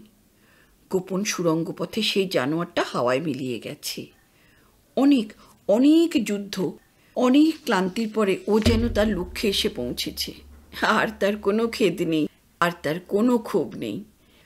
এই মিষ্টি, এখন তার মিষ্টি মিষ্টি হাতখানা যদি মাথায় রাখে, যদি একটু বুলিয়েও দেয়, পরম শান্তিতে পাপি তাহলে এখন ঘুমিয়েও পড়তে পারে। রাগ বা ক্ষোভ না থাকুক, কিন্তু একটু অভিমানের কথা বলতে ইচ্ছে করছে তবু। বলল এই আট বছরে আমি তোমাকে একটা দিনের জন্য ভুলিনি কিন্তু। তবে তুমি তো দেখছি দিব্যে ভুলে গিয়েছিলে। মিষ্টির ঠোঁটে দুষ্টু দুষ্টু হাসি। আবার চোখের কোণে প্রতিবাদের হালকা কোপও একটু। জবাব দিল এমনিতে ভুলে গিয়েছিলাম বটে, কিন্তু একেবারে ভুলার উপায় কি ছিল? বড় হবার সঙ্গে সঙ্গে তো অনেক কিছু বুঝতে পারতাম। তখন হঠাৎ হঠাৎ মনে পড়ে যেত মিষ্টি খাব মিষ্টি খাব, করে জ্বালিয়ে মারতে। আর হাতে নাগালে পেলে কী কাণ্ড যে করতে? শেষে সেই একদিন, যা আমি বলব না। বাপির কান জুড়িয়ে যাচ্ছে, বাপির ভিতর জুড়িয়ে যাচ্ছে। সেই তাজা রক্তের স্বাদও আর মুখে লেগে নেই বাপির। বাপি হাসছে। সেই একদিন বাবার হাতে শাস্তিখানা কেমন খেলাম, তাও তো নিজের চোখেই দেখেছিলে। মনে পড়তে গা শিউরে উঠল মিষ্টির। বাপি, তাও ভারী মিষ্টি লাগল। সে কথা আর বলো না। আবু যখন তোমাকে ধরে নিয়ে এলো তখন সবার আগে ছুটে গিয়ে তোমার মাথাটা মনের সাথে মাটিতে ঠুকে দিতে ইচ্ছে করছিল আমার।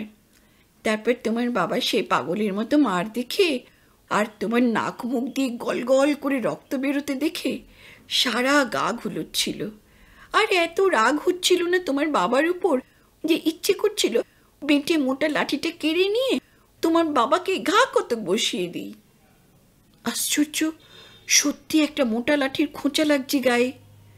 চমক ভেঙে ভীষণ ধরপড় করে সোজা হয়ে বসল বাপি তরফদার। না বাপির স্বপ্ন দেখছিল না। বাপি জেগেই ছিল, বসেই ছিল। এখানে বসেই একটা খুব লোভনীয় বাস্তবের খুব কাছাকাছি পৌঁছে লাঠির খোঁচায় আচমকা এখানেই ফিরে এলো আবার। রাতের অন্ধকার ঘুটঘুটি এই পার্কে, বকুলতলার এই বেঞ্চিতে। সেই থেকে বাপি তরফদার জেগেই আছে, বসেই আছে। দুপুর গড়িয়ে বিকেল হয়েছে মনে আছে। ছেলেমেয়েরা এসেছে, খেলাধুলো করেছে, ছুটাছুটি হুটোপাটি করেছে, মনে আছে। দিনের আলোয় টান ধরতে পার্কটা আস্তে আস্তে ফাঁকা হয়েছে। সন্ধ্যা পেরিয়ে রাত নেমে আসতে একেবারে খালি হয়ে গেছে। তাও খেয়াল করেছিল বাপি। তারপর এমনি বসে থেকে থেকে এমনিভাবে চোখে তাকিয়ে কতক্ষণ যে কীভাবে কেটে গেল তাই শুধু খেয়াল নেই। সমস্ত সত্তা শুদ্ধ কতক্ষণ যে উদাও হয়েছিল এখনও ঠাউর করতে পারছে না বাপি। লাঠির খোঁচা পুলিশের। এখন সে পিছনে কাঁধ ঘেসে দাঁড়িয়ে লোকটা ঝুঁকে দেখতে চেষ্টা করল। সঙ্গে সঙ্গে বড় শ্বাস টানলো একটা। মদ টদ খেয়ে ঝিম মেরে বসে আছে কিনা সেটাই বোঝার চেষ্টা। মাথার উপর বকুল গাছটার জন্য এখানটা এক চাপ অন্ধকার। লোকটা মাঝবয়সী বাঙালি। কড়া গলায় জিজ্ঞাসা করল, এত রাতে এখানে বসে কি হচ্ছে? বাপি বেঞ্চি ছেড়ে উঠল। সমস্ত দিন পেটে কিছু না পড়ায় মাথাটা ঘুরছে। যে বরাত সন্দেহ হলে হয়তো টেনে নিয়ে গিয়ে লকআপে ঠেলে দেবে। ক্লান্ত সুরে বলল মনটা ভালো ছিল না সিপাই সাহেব, তাই বসেছিলাম। মাতাল টাতাল নয়, মুখ দেখে চোর ছাঁচোরও মনে হলো না, তবু পা থেকে মাথা পর্যন্ত আর একবার চোখ বুলিয়ে নিল। বলল, রাত বারোটায় মন ভালো করার জায়গা নয় এটা। অন্য পুলিশের খপ্পরে পড়লে আর কিছু না হোক, হাতের ওই ঘড়ি খুলে দিতে হতো। যান, পালিয়ে চটপট ঘরে চলে যান। পার্কের গেট পেরিয়ে কবজির পুরনো ঘড়িতে সময় দেখল বাপি বারোটা নয়, এগারোটা বেজে কয়েক মিনিট। ঘর এখান থেকে অনেক দূর, কম করে আধ ঘণ্টা লাগবে। শরীরটাকে টেনে নিয়ে চলল। একটা দোকানপাট খোলা নেই যে কিছু কিনে মুখে দেবে। ইচ্ছেও করছে না, আবার শরীরও চলছে না। বিমানে হবার মতো রসদ পার্কে বকুলতলার বেঞ্চিতে বসেই সংগ্রহ করেছিল। হোক কল্পনা। কিন্তু তারই মধ্যে মিষ্টিকে খুব কাছে পেয়েছিল বাপি। খুব কাছ থেকে দেখেছিল। আর এক আশ্চর্য শান্তিতে বাপের ভিতর বার ডুবে গিয়েছিল। সেই শান্তির ছোঁয়ায় সত্যিই ঘুমিয়ে পড়েছিল কি না কে জানে? নইলে এত রাত হয়ে গেল কি করে? এখনও সেই তৃপ্তির স্বাদটুকু ভিতরে লেগে আছে। মনটা সজাগ হয়ে উঠেছে আবার, বেশ জোরও পাচ্ছে। পার্কে বসে নিজের মন থেকে যে ছবি আঁকছিল, সেটা এমন কিছু আজগুবি নয়। সত্যি হতে পারে না এমন কিছু নয়। বরং এর বিপরীত চিন্তাটাই বাপির মাথায় একটা আশ্বাসের মতো এঁটে বসতে লাগল। আটটা বছরের ব্যবধান ঘুচিয়ে আবার কোনো নিভৃতে মুখোমুখি হতে পারলে বাপি যা ভাবছিল তাই হবে। মিষ্টির চোখে ওই রকমই বিস্ময় ঝরবে, তারপর মিষ্টি ওই রকম করেই হাসবে। আর ওই রকম করেই কথা বলবে মিষ্টি। নিজের অজান্তে পা আরও দ্রুত চলছে বাপির। দুপুরে ওই পার্কটায় বসে প্রথম যা মনে হয়েছিল, ঘুরে ফিরে এখন তাই আবার মাথায় আসছে।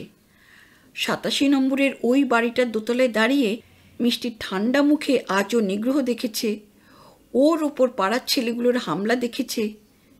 মিষ্টির চোখে সেটা অপরিচিতের নিগ্রহ, অপরিচিতের ওপর হামলা। কিন্তু এই তো শেষ নয়। এটা শেষ হতে পারে না। চোদ্দ বছরের একটা ছেলের ক্ষতবিক্ষত, রক্তাক্ত মুখ যদি শেষ কথা না হয়ে থাকে, আজকের এই অপমান আর এই নিগ্রহ শেষ কথা নয়। বাপি তা হতে দেবে না। সামনে পিছনে কুকুর ঘেউ ঘেউ করে চলেছে সেই থেকে। রাতের এই নির্জন রাস্তা পাহারা দেওয়াটা ওদের যেন ডিউটি। পাড়া জানান দিতে দিতে খানিকটা সঙ্গ নেয়, ভয় পেলে তেড়েও আসে। ভয় শূন্য নির্লিপ্ততা দেখলে চেঁচানি থামে। তারপর আবার সামনের রাস্তার কুকুরের পালা। মিষ্টিদের সাতাশি নম্বরের বাড়ির সামনে সেই ছেলেগুলোকে আবার মনে পড়ে গেল বাপির। আর সোনালি ফ্রেমে চশমা পরা ফুটফুটে ফর্সা সেই ছেলেটাকে। পাড়ার ছেলেদের অসিদ্ধা। তাদেরও কাউকে পাহারায় মোতায়েন রাখেনি কেউ। তারা নিজে থেকেই পাহারা দেয়। সঙ্গে সঙ্গে আর একটা খুশির ছবি চোখে ভাসল বাপির।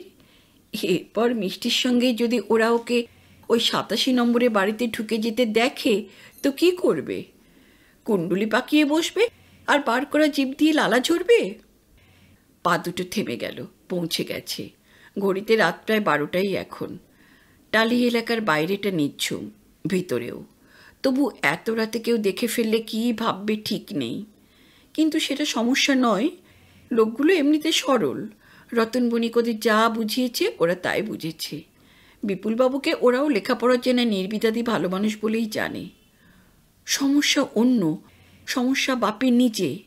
সেই কারণেই বাপে বিষণ্ন আবার সেই কারণেই বাপের নিজের ওপর অসহিষ্ণুতা।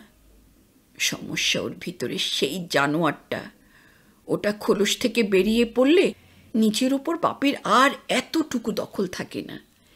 মেয়েরা দেখা মাত্র সেই মাংস লোলুপ জানোয়ারটাকে চেনে। গৌরী বৌদি দেখেছিল, দেখেই চিনেছিল, প্রশ্রয় দিতে চেয়েছিল। জানোয়ারটা আবার খোলসে ঢুকে গেছিল বলে মনিদার সেই আরামের ঘর ছেড়ে আজও এইখানে। আজ আবার তেমনি দিনে দুপুরেই ওটা আচমকা খোলস ছেড়ে বেরিয়ে এসেছিল। খুব কাছে এসে ঝুঁকে ছেঁড়া জামার ভিতর দিয়ে পিঠে আঘাতে দাগ আছে কিনা দেখতে গিয়েছিল রতন বণিকের বউ কমলা বণিক। জানোয়ারটা তখন দুটো চোখের ভেতর দিয়ে ঠিকরে বেরিয়ে ওর ওপরেও ঝাঁপিয়ে পড়তে চেয়েছিল। কমলা ওটাকে দেখেছে, কমলা ওটাকে চিনেছে। বিষম হকচকিয়ে গিয়ে কয়েক পা পিছনে সরে গেছে কমলা। হঠাৎ খাবড়ে গিয়ে গৌরী বৌদিও খানিক পিছনে সরে গিয়েছিল। তারপর চোখের সামনে কাঁচা, তাজা পুরুষ দেখেছিল গৌরী বৌদি। বয়স ভুলে, সব ভুলে পতঙ্গ পোড়ানোর নেশায় পেয়েছিল গৌরী বৌদিকে। কিন্তু কিন্তু কমলাবনি কি করবে? পুলিশ তাড়া না করলে রাতটা ওই পার্কেই কাটিয়ে দিত বাপি। পায়ে পায়ে উঠোনে চলে এলো। নিশ্চিন্ত একটু, কেউ জেগে নেই। কমলার ঘরের দরজা বন্ধ। যত সন্তর্পণে খুপড়ি ঘরের দরজা খুলুক, ক্যাচ করে শব্দ একটু হবেই। কিন্তু দরজা ঠেলতেই বাপি হাঁ একেবারে। খাটিয়ার কাছে ছোট্ট একটা হেরিকেন ডিম করা। ওটার সামনে ঝাঁপিতে কিছু চাপা দেওয়া। দেখেই বুঝলো ওটার নিচে বাপির রাতের খাবার। এদিকে দেয়ালে ঠেস দিয়ে মেঝের ওপর হাত পা ছড়িয়ে নাক ডাকিয়ে ঘুমোচ্ছে রতন বণিক। বাপি নিশ্চল দাঁড়িয়ে রইল খানিক। সমস্ত দিন লোকটার মেহনতের মধ্যে কাটে। আপিসের কাজ তো কিছু আছেই। তার উপর ভাগ্য গোনা ধকলে জীবের কামাইও নেই। সন্ধ্যার পরে এই খুপড়ি ঘরে বসে মৌজ করে একটু নেশা টেশা করে। ইচ্ছে করেই বাপি সে সময় ঘরে আর থাকে না। নেশা বেশ জমে উঠলে রতন নিজের ঘরে যায়। খেয়ে দিয়ে রাত সাড়ে আটটা, নটার মধ্যে অঘরে ঘুম। আজ বউয়ের হুকুমে ওর এই বাড়িতে ধকল সম্ভবত। কাঁধ ধরে জোরে নাড়া দেবার পর রতনের ঘুম ভাঙল। লণ্ঠনটা এত ডিম করা যে ভালো করে মুখ দেখা যায় না। তবু বাপির মনে হলো, ও এখানে এভাবে পড়ে ঘুমোচ্ছিল কেন নিজেই চট করে ঠাওর করে উঠতে পারছে না। বাপি বলল ওঠো, ঘরে যাও, ঘরে গিয়ে ঘুমোওগে যাও। বিপুলবাবুর কথা শুনে মাথা পরিষ্কার হচ্ছে। শিথিল শরীরটা মেঝে থেকে টেনে তুলল। ঝুঁকে ছোট লণ্ঠনটা উস্কে দিল। তারপর চোখ বড় বড় করে বিপুলবাবুর মুখখানা দেখল। জিজ্ঞাসা করল, রাত কত এখন? অনেক। বাপে, বিব্রত বলেই ভিতরে ভিতরে বিরক্ত। এরকম কষ্ট করবার কি দরকার ছিল? যাও, শুয়ে পড়ো। যাও না, শুয়ে পড়ো গে, যাও। রতনের দু চোখ ঘুমে বোঝাই, বলল, এই আপনার খাবার ঢাকা দেওয়া আছে, খেয়ে নিন। কথা না বাড়িয়ে ও বাইরে গিয়ে দরজা দুটো টেনে দিল। ঘুরে বাপে নির্দয় চোখে ঝাঁপিটার দিকে তাকালো। কারণ ওটার নিচে যা আছে, তাই এখন সব থেকে বেশি দরকার ওর। ওটা দেখার পর পেটের তাগিদ এমনি যে গোগ্রাসে এখন গিলতে না বসে উপায়ই নেই। খেতে বসল, সামগ্রী বিশেষ কিছু নয়, কিন্তু থালায় সাজিয়ে রাখার মধ্যে যত্নের ছোঁয়া আছে। এটুকুর মধ্যেই কমলার সঙ্গে গৌরী বৌদির একটা বড় তফাত তবু এই রাতটা না কাটলে বাপি কাল কি করবে? কাল কেমন করে মুখ দেখাবে? তার খাবার সাজিয়ে রাখা দেখে তলায় তলায় ভরসাও পাচ্ছে একটু। সেই কটা স্তব্ধ হিংস্র মুহূর্তের মধ্যে কমলা সত্যি কতটা ভিতর দেখেছিল ওর? কতটুকু বুঝেছিল? গৌরী বৌদির মতো অতটা নাও হতে পারে। কমলা হয়তো বা চণ্ডাল রাগ ভেবেই অমন হকচকিয়ে গিয়েছিল আর তারপর সামলে নিয়ে নিজের জোর ফলিয়েছিল। বলেছিল, আমার ঘর থেকে আমাকে চলে যেতে বলার তুমি কে? বাপি নিজেই চলে যাবার জন্য পা বাড়াতে দরজা আগলে দাঁড়িয়ে বলেছিল কই যাও তো দেখি। মজা করে জিজ্ঞাসা করেছিল, এক কাপ চা এনে দেব? তারপর মাথা ঠান্ডা করার জন্য ওকে চানে যেতে বলে ধীরে সুস্থে রান্না চড়াতে চলে গিয়েছিল। না খেয়ে ওকে বেরিয়ে যেতে দেখে আকুতি নিয়েই পিছন থেকে ডেকে ফেরাতে চেষ্টা করেছিল। খেতে খেতে নিজের দিক টেনেই ভাবছিল বাপি কিন্তু ভিতরের অস্বস্তিটা থিতিয়েই থাকল। সমস্ত দিনের এত ধকলের পর খাটিয়ায় গা দেবার সঙ্গে সঙ্গে ঘুমিয়ে পড়বার কথা। কিন্তু ঘুম চট করে চোখের ধারে কাছে ঘেসবে না জানে। নিশীত বলেছিল, আরে তুই তো একটা রামবোকা দেখছি।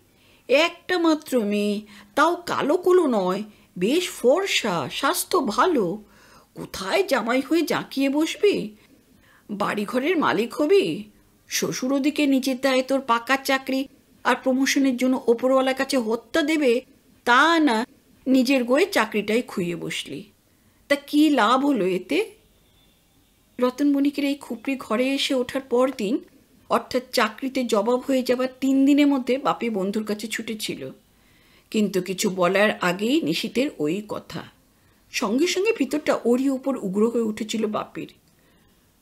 ও তুইও তাহলে সব জেনে শুনেই এই চাকরি নেবার জন্য আমাকে টেলিগ্রাম পাঠিয়েছিলি?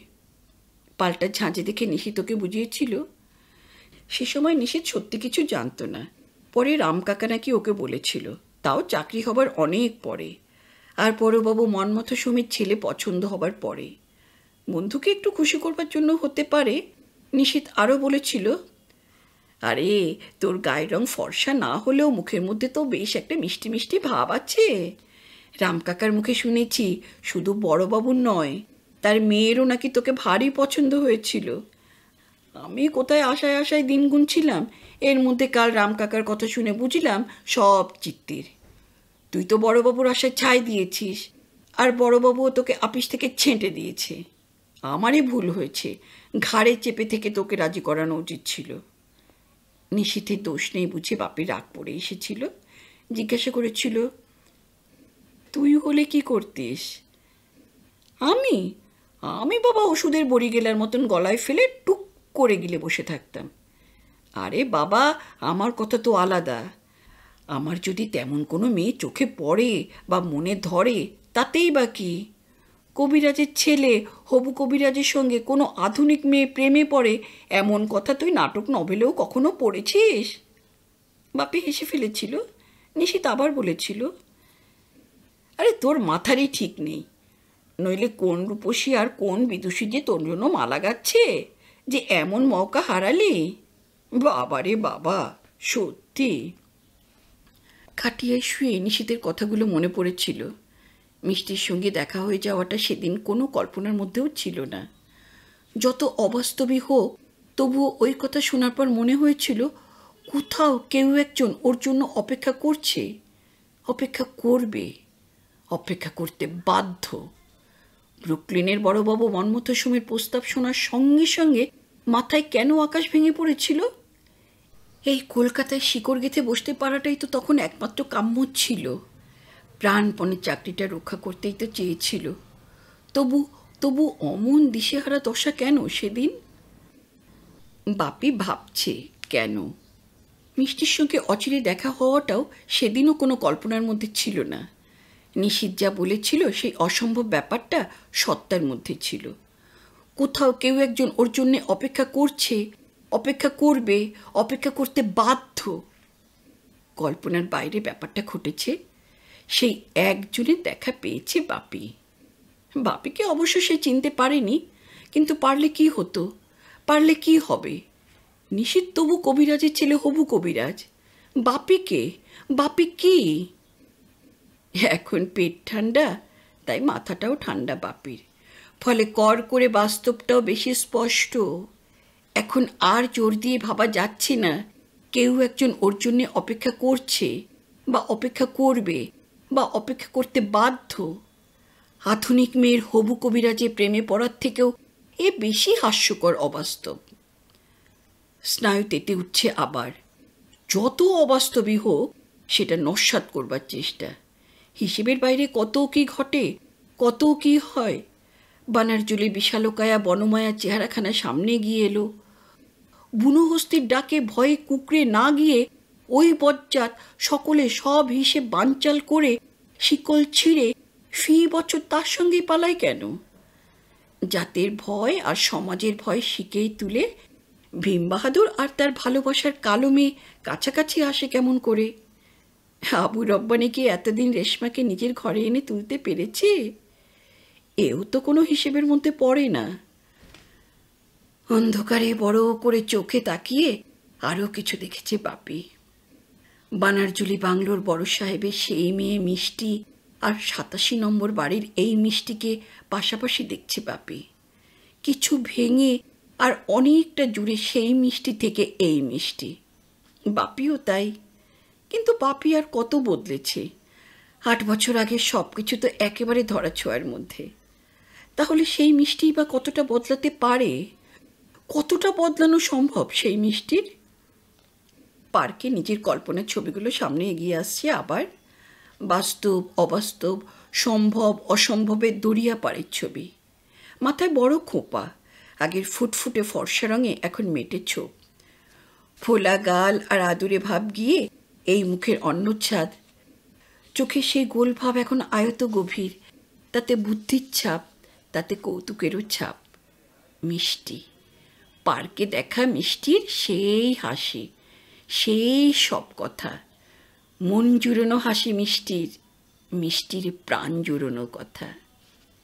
মিষ্টি মিষ্টি, আমি বড় ক্লান্ত। মিষ্টি, বড় কষ্ট আমার, বড় কষ্ট। তোমার একখানা হাত আমার মাথায় রাখো, মিষ্টি। আমি ঘুমিয়ে পড়ি। আমি ঘুমিয়ে পড়তে চাই, মিষ্টি। কলতলার কলরব জমে ওঠার আগে বাপি মুখ হাত ধোয়া সেরে আসে, নইলে মেয়েদের জটলার মধ্যে গিয়ে পড়তে হয়। কিন্তু অনেক দিন বাদে আজই ঘুম ভাঙতে দেরি। মাথাটাও অন্য দিনের মতো ভার ভার নয়। উল্টে ঝরঝরে লাগছে। ওদিকে কলতলে জমজমাট। কলসির জল গড়িয়ে মুখ ধোয়ার কাঁচটুকু জানালা দিয়ে সারল। তারপর আবার শুয়ে চায়ের অপেক্ষা। এই সকালেও কমলার মুখোমুখি হওয়ার চিন্তা বেশ অস্বস্তিকর। সেটুকু চাপা দেবার জন্যই বাপি বেশি গম্ভীর। তার কেন যেন ধারণা, চা দিতে এসে কমলা আজ মুখে কোনো কথা বলবে না। শুধু চেয়ে চেয়ে দেখবে একটু। তারপর চায়ের গ্লাস বাড়িয়ে দিয়ে চুপচাপ চলে যাবে। হাসা বা কথা বলার সুযোগও দিতে চায় না বাপি। এরকমভাবেই গম্ভীর। কিন্তু চা দিতে আজ দেরিই হচ্ছে কেন? ক্যাঁচ করে দরজা ঠেলা সেই পরিচিত শব্দ, পরের মুহূর্তে বাপি বিমুড়ো। এক হাতে ডিশের ওপর ওর চায়ের গ্লাস আর অন্য হাতে নিজের গ্লাস নিয়ে দরজা ঠেলে ঘরে ঢুকছে রতন বণিক। আর সে কটা মুহূর্তের মধ্যে বাপের মনে হলো, কমলার মুখে রোজ সকালের বড়বাবু ডাকটা বড় মিষ্টি লাগতো। রতন বলল হ্যাঁ জেগে আছেন দেখছি, নিন। হাসছে। শুনুন, পিয়নের বউ হলে কি হবে? খুব দেমাক। বলে, আমাকে অপমান করলে আমি কেন যাব? তুমি যাও। ডিশে বিস্কুট সহ গ্লাসটা হাতে নিল বাপি। কমলা এলো না। স্বস্তি। রাগী যদি হয়ে থাকে, তাহলে আরও স্বস্তি। কিন্তু এখানে অপমান শব্দটা খুব প্রাঞ্জল নয়। হাসতে চেষ্টা করে বলল, অপমান? অপমান আবার কি করলাম? আরে, মেয়ে ছেলের কথা ছাড়েন তো। আপনার জন্য রান্না হচ্ছে জেনেও আর পিছন থেকে ডাকাডাকি করা সত্ত্বেও আপনি নাকি না খেয়ে চলে গেলেন। সেইটাই নাকি অপমান। আর বলে কি, আপনার খাবার টাবার এবার থেকে আমাকেই দিয়ে যেতে হবে। ও নাকি পারবে না। বাপি বলল, না না, তার কোনো দরকার নেই, কাউকেই দিয়ে যেতে হবে না। রতন এবার মাথা নাড়ল, না না, সে হবে না। বউ তো বলছিল রাতে ছেড়ে দিনেও নাকি সব দিন আপনার খাওয়া হয় না। আরে, অতিথি না খেয়ে থাকলে গেরস্তের তো অকল্যাণ হয়। এই সম্বন্ধে কিন্তু আমি বউয়ের সঙ্গে একমত। দিনে আপনিও কাজের ধান্দায় ঘোরেন, আমিও সকাল সকাল অফিসে চলে যাই। যে কদিন না বউয়ের রাগ পড়ে, আপনার রাতের খাবার আমিই দিয়ে যাব বাবু। ফের আপনি রাতে উপোস দিচ্ছেন জানলে বউটা কিন্তু সত্যিই খেপে যাবে। যত দেমাকি দেখাক না কেন, ওর ভেতরটা খুব ভালো। বুঝলেন তো বিপুল বাবু বাপি একটু খুশি হতে পারছে না। বলল, তোমার বউয়ের কি ধারণা? আমি পয়সার অভাবে উপোস দিচ্ছি রতন জিপ কাটল এ মা, তা কেন? ছি ছি ছি।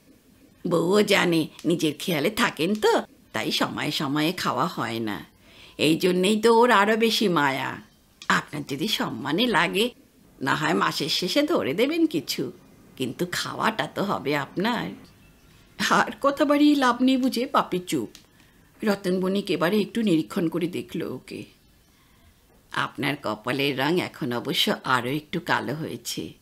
তা ভালো হবার আগে অনেক সময় অমন হয়। আপনার দিন ফিরতে কিন্তু আর খুব বেশি সময় লাগবে না বিপুলবাবু। দেখে নেবেন আপনি। হাত বাড়িয়ে ডিশ আর গ্লাস নিয়ে রতন চলে গেল। বাপি বিমনা একটু এরকম আসার কথা রতন অনেক বলেছে, বাপি কানে তোলেনি, কখনো বা হেসেছে। আজ ওর কথা বেদবাক্য ভাবছে না, শুধু রতনের এই বিশ্বাসের জোরটুকুই ভিতর থেকে যেন আঁকড়ে ধরতে চাইছে। মাথার মধ্যে সময়ের একটা হিসেব ঘুরপাক খাচ্ছিল বাপের। স্নান সেরে জামাকাপড় বদলে সেই সময় ধরে রাস্তায় বেরিয়ে পড়ল। ট্রাম বা বাস ধরবার দরকার নেই, হাতে যথেষ্ট সময়। হাঁটার ব্যাপারে পা দুটোও খুব বাধ্য। ট্রাম বাসের ভিড়ে হাঁপ ধরে। সাতাশি নম্বরে সেই বাড়ির রাস্তা সকলের জন্য খোলা। শুধু বাপির জন্য নয়, কিন্তু খোলা থাকলেও বাপি আজ ও পথ মারাতো না। পাড়ার ওই ছেলেগুলোর হামলা করবার কোনো দরকার ছিল না। ওদের চোখের স্বাদ মেটানোর ভাগিদার নয় বাপি। পরের ভাবনা তাকে এমনিতেই ভাবতে হতো। ভাবা হয়েছে। সাতাশি নম্বর বাড়িটা সাদাটে গাড়ি রাস্তার বাঁক নিয়ে বড় রাস্তা এসে পড়ে। তারপর ডাইনি যায় কি বাঁয়ে, উত্তরে কি দক্ষিণে, সেটুকুই আজ দেখা দরকার। আজ আর বেশি কিছু নয়। সাদা গাড়ি নম্বর সূত্র জানা, তাই বড় রাস্তার মুখোমুখি দাঁড়ানোরও দরকার নেই। সেখান থেকে কম করে একশো গজ দূরে একটা গাড়ি বারান্দার নিচে এসে দাঁড়াল। সময় ধরে এসেছে, খুব একটা অপেক্ষা করতে হবে না জানে। আট দশ মিনিটের মধ্যেই সেই সাদা গাড়ি বড় রাস্তার মুখে, ভাগ্য কি দুর্ভাগ্য বাপি জানে না হর্ন বাজিয়ে গাড়িটা বাঁয়ে, অর্থাৎ বাপি যেদিকে দাঁড়িয়ে সেদিকেই ঘুরল। তারপর একশো গজ গড়াতে আর কতটুকু? মিষ্টি গাড়ির বাদিকে আপনার থেকেই বাপির পা দুটো ফুটপাত ঘেঁষা রাস্তার দিকে এগিয়ে এসেছে। কয়েক পলকের মুখোমুখি, চোখাচোখি। মিষ্টি চিনেছে। মিষ্টি চিনেছে বলতে বেপাড়ার যে ছেলেটাকে বাড়ির সামনে কদিন হ্যাংলার মতো দাঁড়িয়ে থাকতে দেখেছে আর গতকাল দোতলা বারান্দায় দাঁড়িয়ে পাড়ার ছেলেগুলোর হাতে যার দুর্ভোগ দেখেছে, মিষ্টি তাকে চিনেছে। আজ এইখানে দাঁড়িয়ে থাকার অর্থটা ওর কাছে যেন খুব স্পষ্ট। সেই কটা মুহূর্তের মধ্যে বাপির মনে হয়েছে, মিষ্টি ওকে দেখছে আর দেখার সঙ্গে সঙ্গে যেন মিষ্টির তাকাতেও অরুচি। গাড়িটা এগিয়ে গেল। বাপির চোখে আগুন।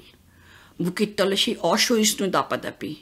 কালোর পাড়ার ছেলেরা যে অপমান করেছিল আজ এই বিতৃষ্ণা অবজ্ঞার চাউনি ছুঁড়ে ও যেন তার দ্বিগুণ অপমান করে গেল। গাড়িটা কোন দিকে, কোন রাস্তা ধরে যায়, আজ শুধু এটুকু জানতে বুঝতেই এসেছিল। কিন্তু ওপরওয়ালার ইচ্ছে অন্যরকম। বাপে সেনো দৃষ্টিতে ওই চলন্ত গাড়িটার দিকে চেয়েছিল।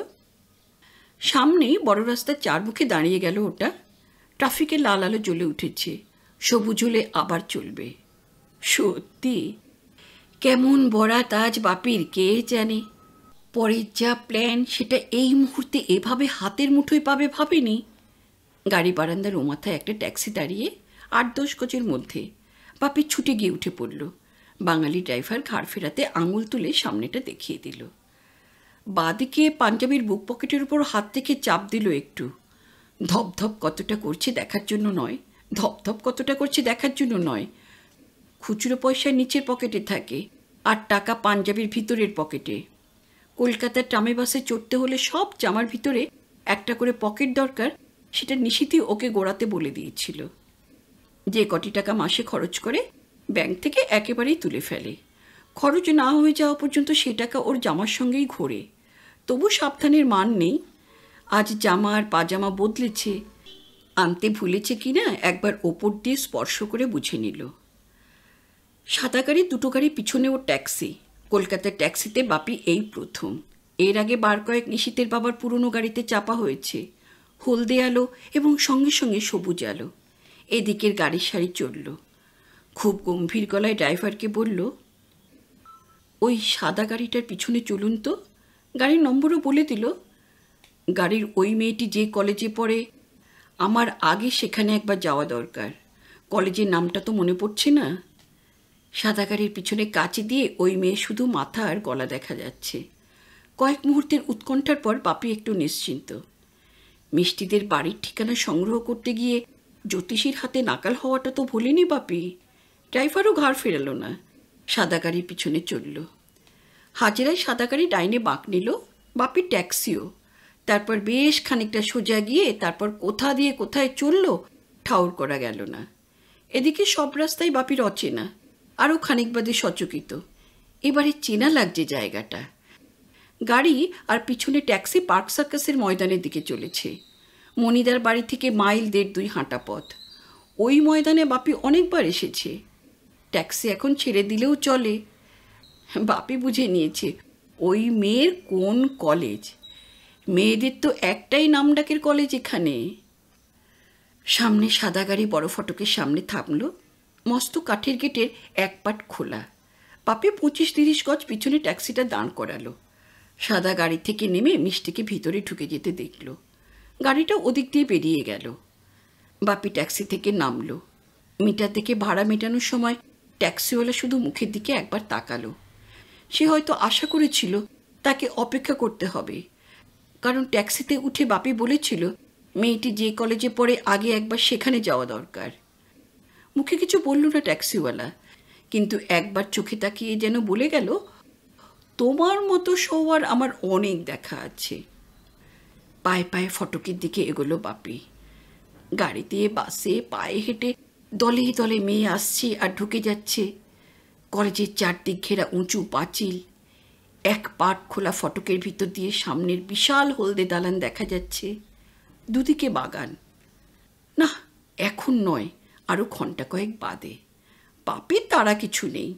ফিরে চলল। ময়দানে ঘোরাঘুরি করে কাটালো খানিক।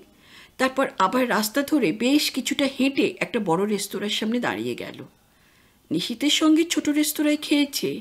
কিন্তু এই দিন অন্য সব দিনের থেকে তফাৎ কিছু হবেই। ঢুকে পড়ল। মুখ হাত ধোবার জায়গায় বড় আয়না। নিজেকে দেখে নিল বাপি। পাজামার বদলে পরনে ধুতি থাকলে ভালো হতো। তবু পাট ভাঙা পাজামা পাঞ্জাবিতে খারাপ দেখাচ্ছে না। এ ব্যাপারে গৌরী বৌদি ওকে একটু শৌখিন করে দিয়েছিল। বেশ করে খেয়ে নিল। অনেকগুলো টাকা খরচ হয়ে গেল। হোক সব থেকে বড় ফয়সালাই হয়তো আজ হয়ে যাবে। ছোট কিচ্ছু ভালো লাগছে না আজ। পাপি কিন্তু কিছু চিন্তা করছে না, কিছু ভাবছে না। সব ভাবনা চিন্তা পরে হবে। এলোমেলো ঘোরাঘুরি করে সময় কাটাতে লাগল। দুটো যেন আর বাঁচবেই না। বাঁচল এক সময়। বাপি তখন কলেজ ফটকের কাছাকাছি।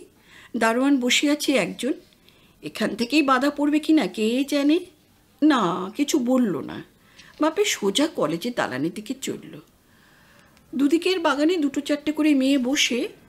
হলঘরের সামনের কাঠের বেঞ্চিতে জনাতিনিক বেয়ারা বসে। ওদের মধ্যে বুড়ো মতো অবাঙালি লোকটাকে ডাকলো বাপি। সে উঠে এলো। মালবিকা নন্দীকে চেনো? থার্ড ইয়ারে পড়ে। পুরনো বেয়ারা, পুরনো ছাত্রীদের অনেককেই চেনে। মালবিকা নন্দী, কোন ডিপার্ট? হিস্ট্রি? বাপি মাথা নাড়ল। কি দরকার আপনার? খুব দরকার। একটু যদি খবর দাও। আঙুল তুলে সে একটা ঘর দেখিয়ে দিল। ওই আপিস ঘরে গিয়ে বসেন। স্লিপ ভেজিয়ে দেন। বাপি বলল, তুমি একটু সাহায্য করো না ভাই, আমি বাইরে থেকে এসেছি তো, কিছু জানি না। একটা খবর দেওয়া খুব দরকার। বিনয়ে তুষ্ট প্রায় সকলেই আধবুড়ো বেয়ারা ওকে সঙ্গে করে আপিস ঘরে নিয়ে এলো। কেরানিবাবুকে নিজেই কি বলে এক টুকরো সাদা কাগজ ওর হাতে দিল। আপনার নাম লিখে দেন, আর ঠিকানা। পেন্সিলও সেই এগিয়ে দিল। বাপি প্রথমে লিখল মালবিকা নন্দী, তলায় লিখল, বাপি তরফদার, বানারজুলি ফরেস্ট। বেয়ারা স্লিপ নিয়ে চলে গেল। বাপি আবার বাইরের বারান্দায়। ছটা সাতটা মিনিট নয়, যেন একটা যুগ। বেয়ারা ফিরে এসে জানালো, পাঁচ মিনিটের মধ্যে ক্লাস শেষ হবে। অপেক্ষা করুন, আসছেন। অনেকক্ষণের একটা রুদ্ধশ্বাস মুক্তি পেয়ে বাঁচল। বাপি পায়ে পায়ে বারান্দা ছেড়ে নিচে নেমে এলো। তারপর ফটকটার দিকে কয়েক পা এগিয়ে ঘুরে দাঁড়াল। মিষ্টি মিষ্টি মিষ্টি মিষ্টি, তার মিষ্টি, সেই মিষ্টি তাহলে আসছে। মিষ্টি এলো, বারান্দায় পা দিয়েই থমকে দাঁড়িয়ে গেল। স্লিপটা পেয়ে আগ্রহ নিয়ে নেমে এসেছিল মনে হয়, কারণ বাপির পুরো পাঁচ মিনিটও অপেক্ষা করতে হয়নি। কিন্তু চোখাচোখি হওয়া মাত্র তার দু চোখে ধাক্কা খেলো। বানারজুলির বাপির তরফদার এই লোক সেটা কল্পনার মধ্যেও ছিল না। শুধু অবাক নয়, অপ্রস্তুত, কারণ এখন হয়তো দেখা মাত্র মনে হয়েছে, এই লোক বা এমন লোক বাপি তরফদার ছাড়া আর কে হতে পারে। বারান্দায় দাঁড়িয়ে কথা বলার ইচ্ছে থাকলে বাপি এদিকে সরে আসতো না, চুপচাপ সেখানেই দাঁড়িয়ে রইল, চেয়ে রইল। দু চোখে হাসি ছুঁয়ে আছে কি নেই? বাকিটুকু প্রতীক্ষা।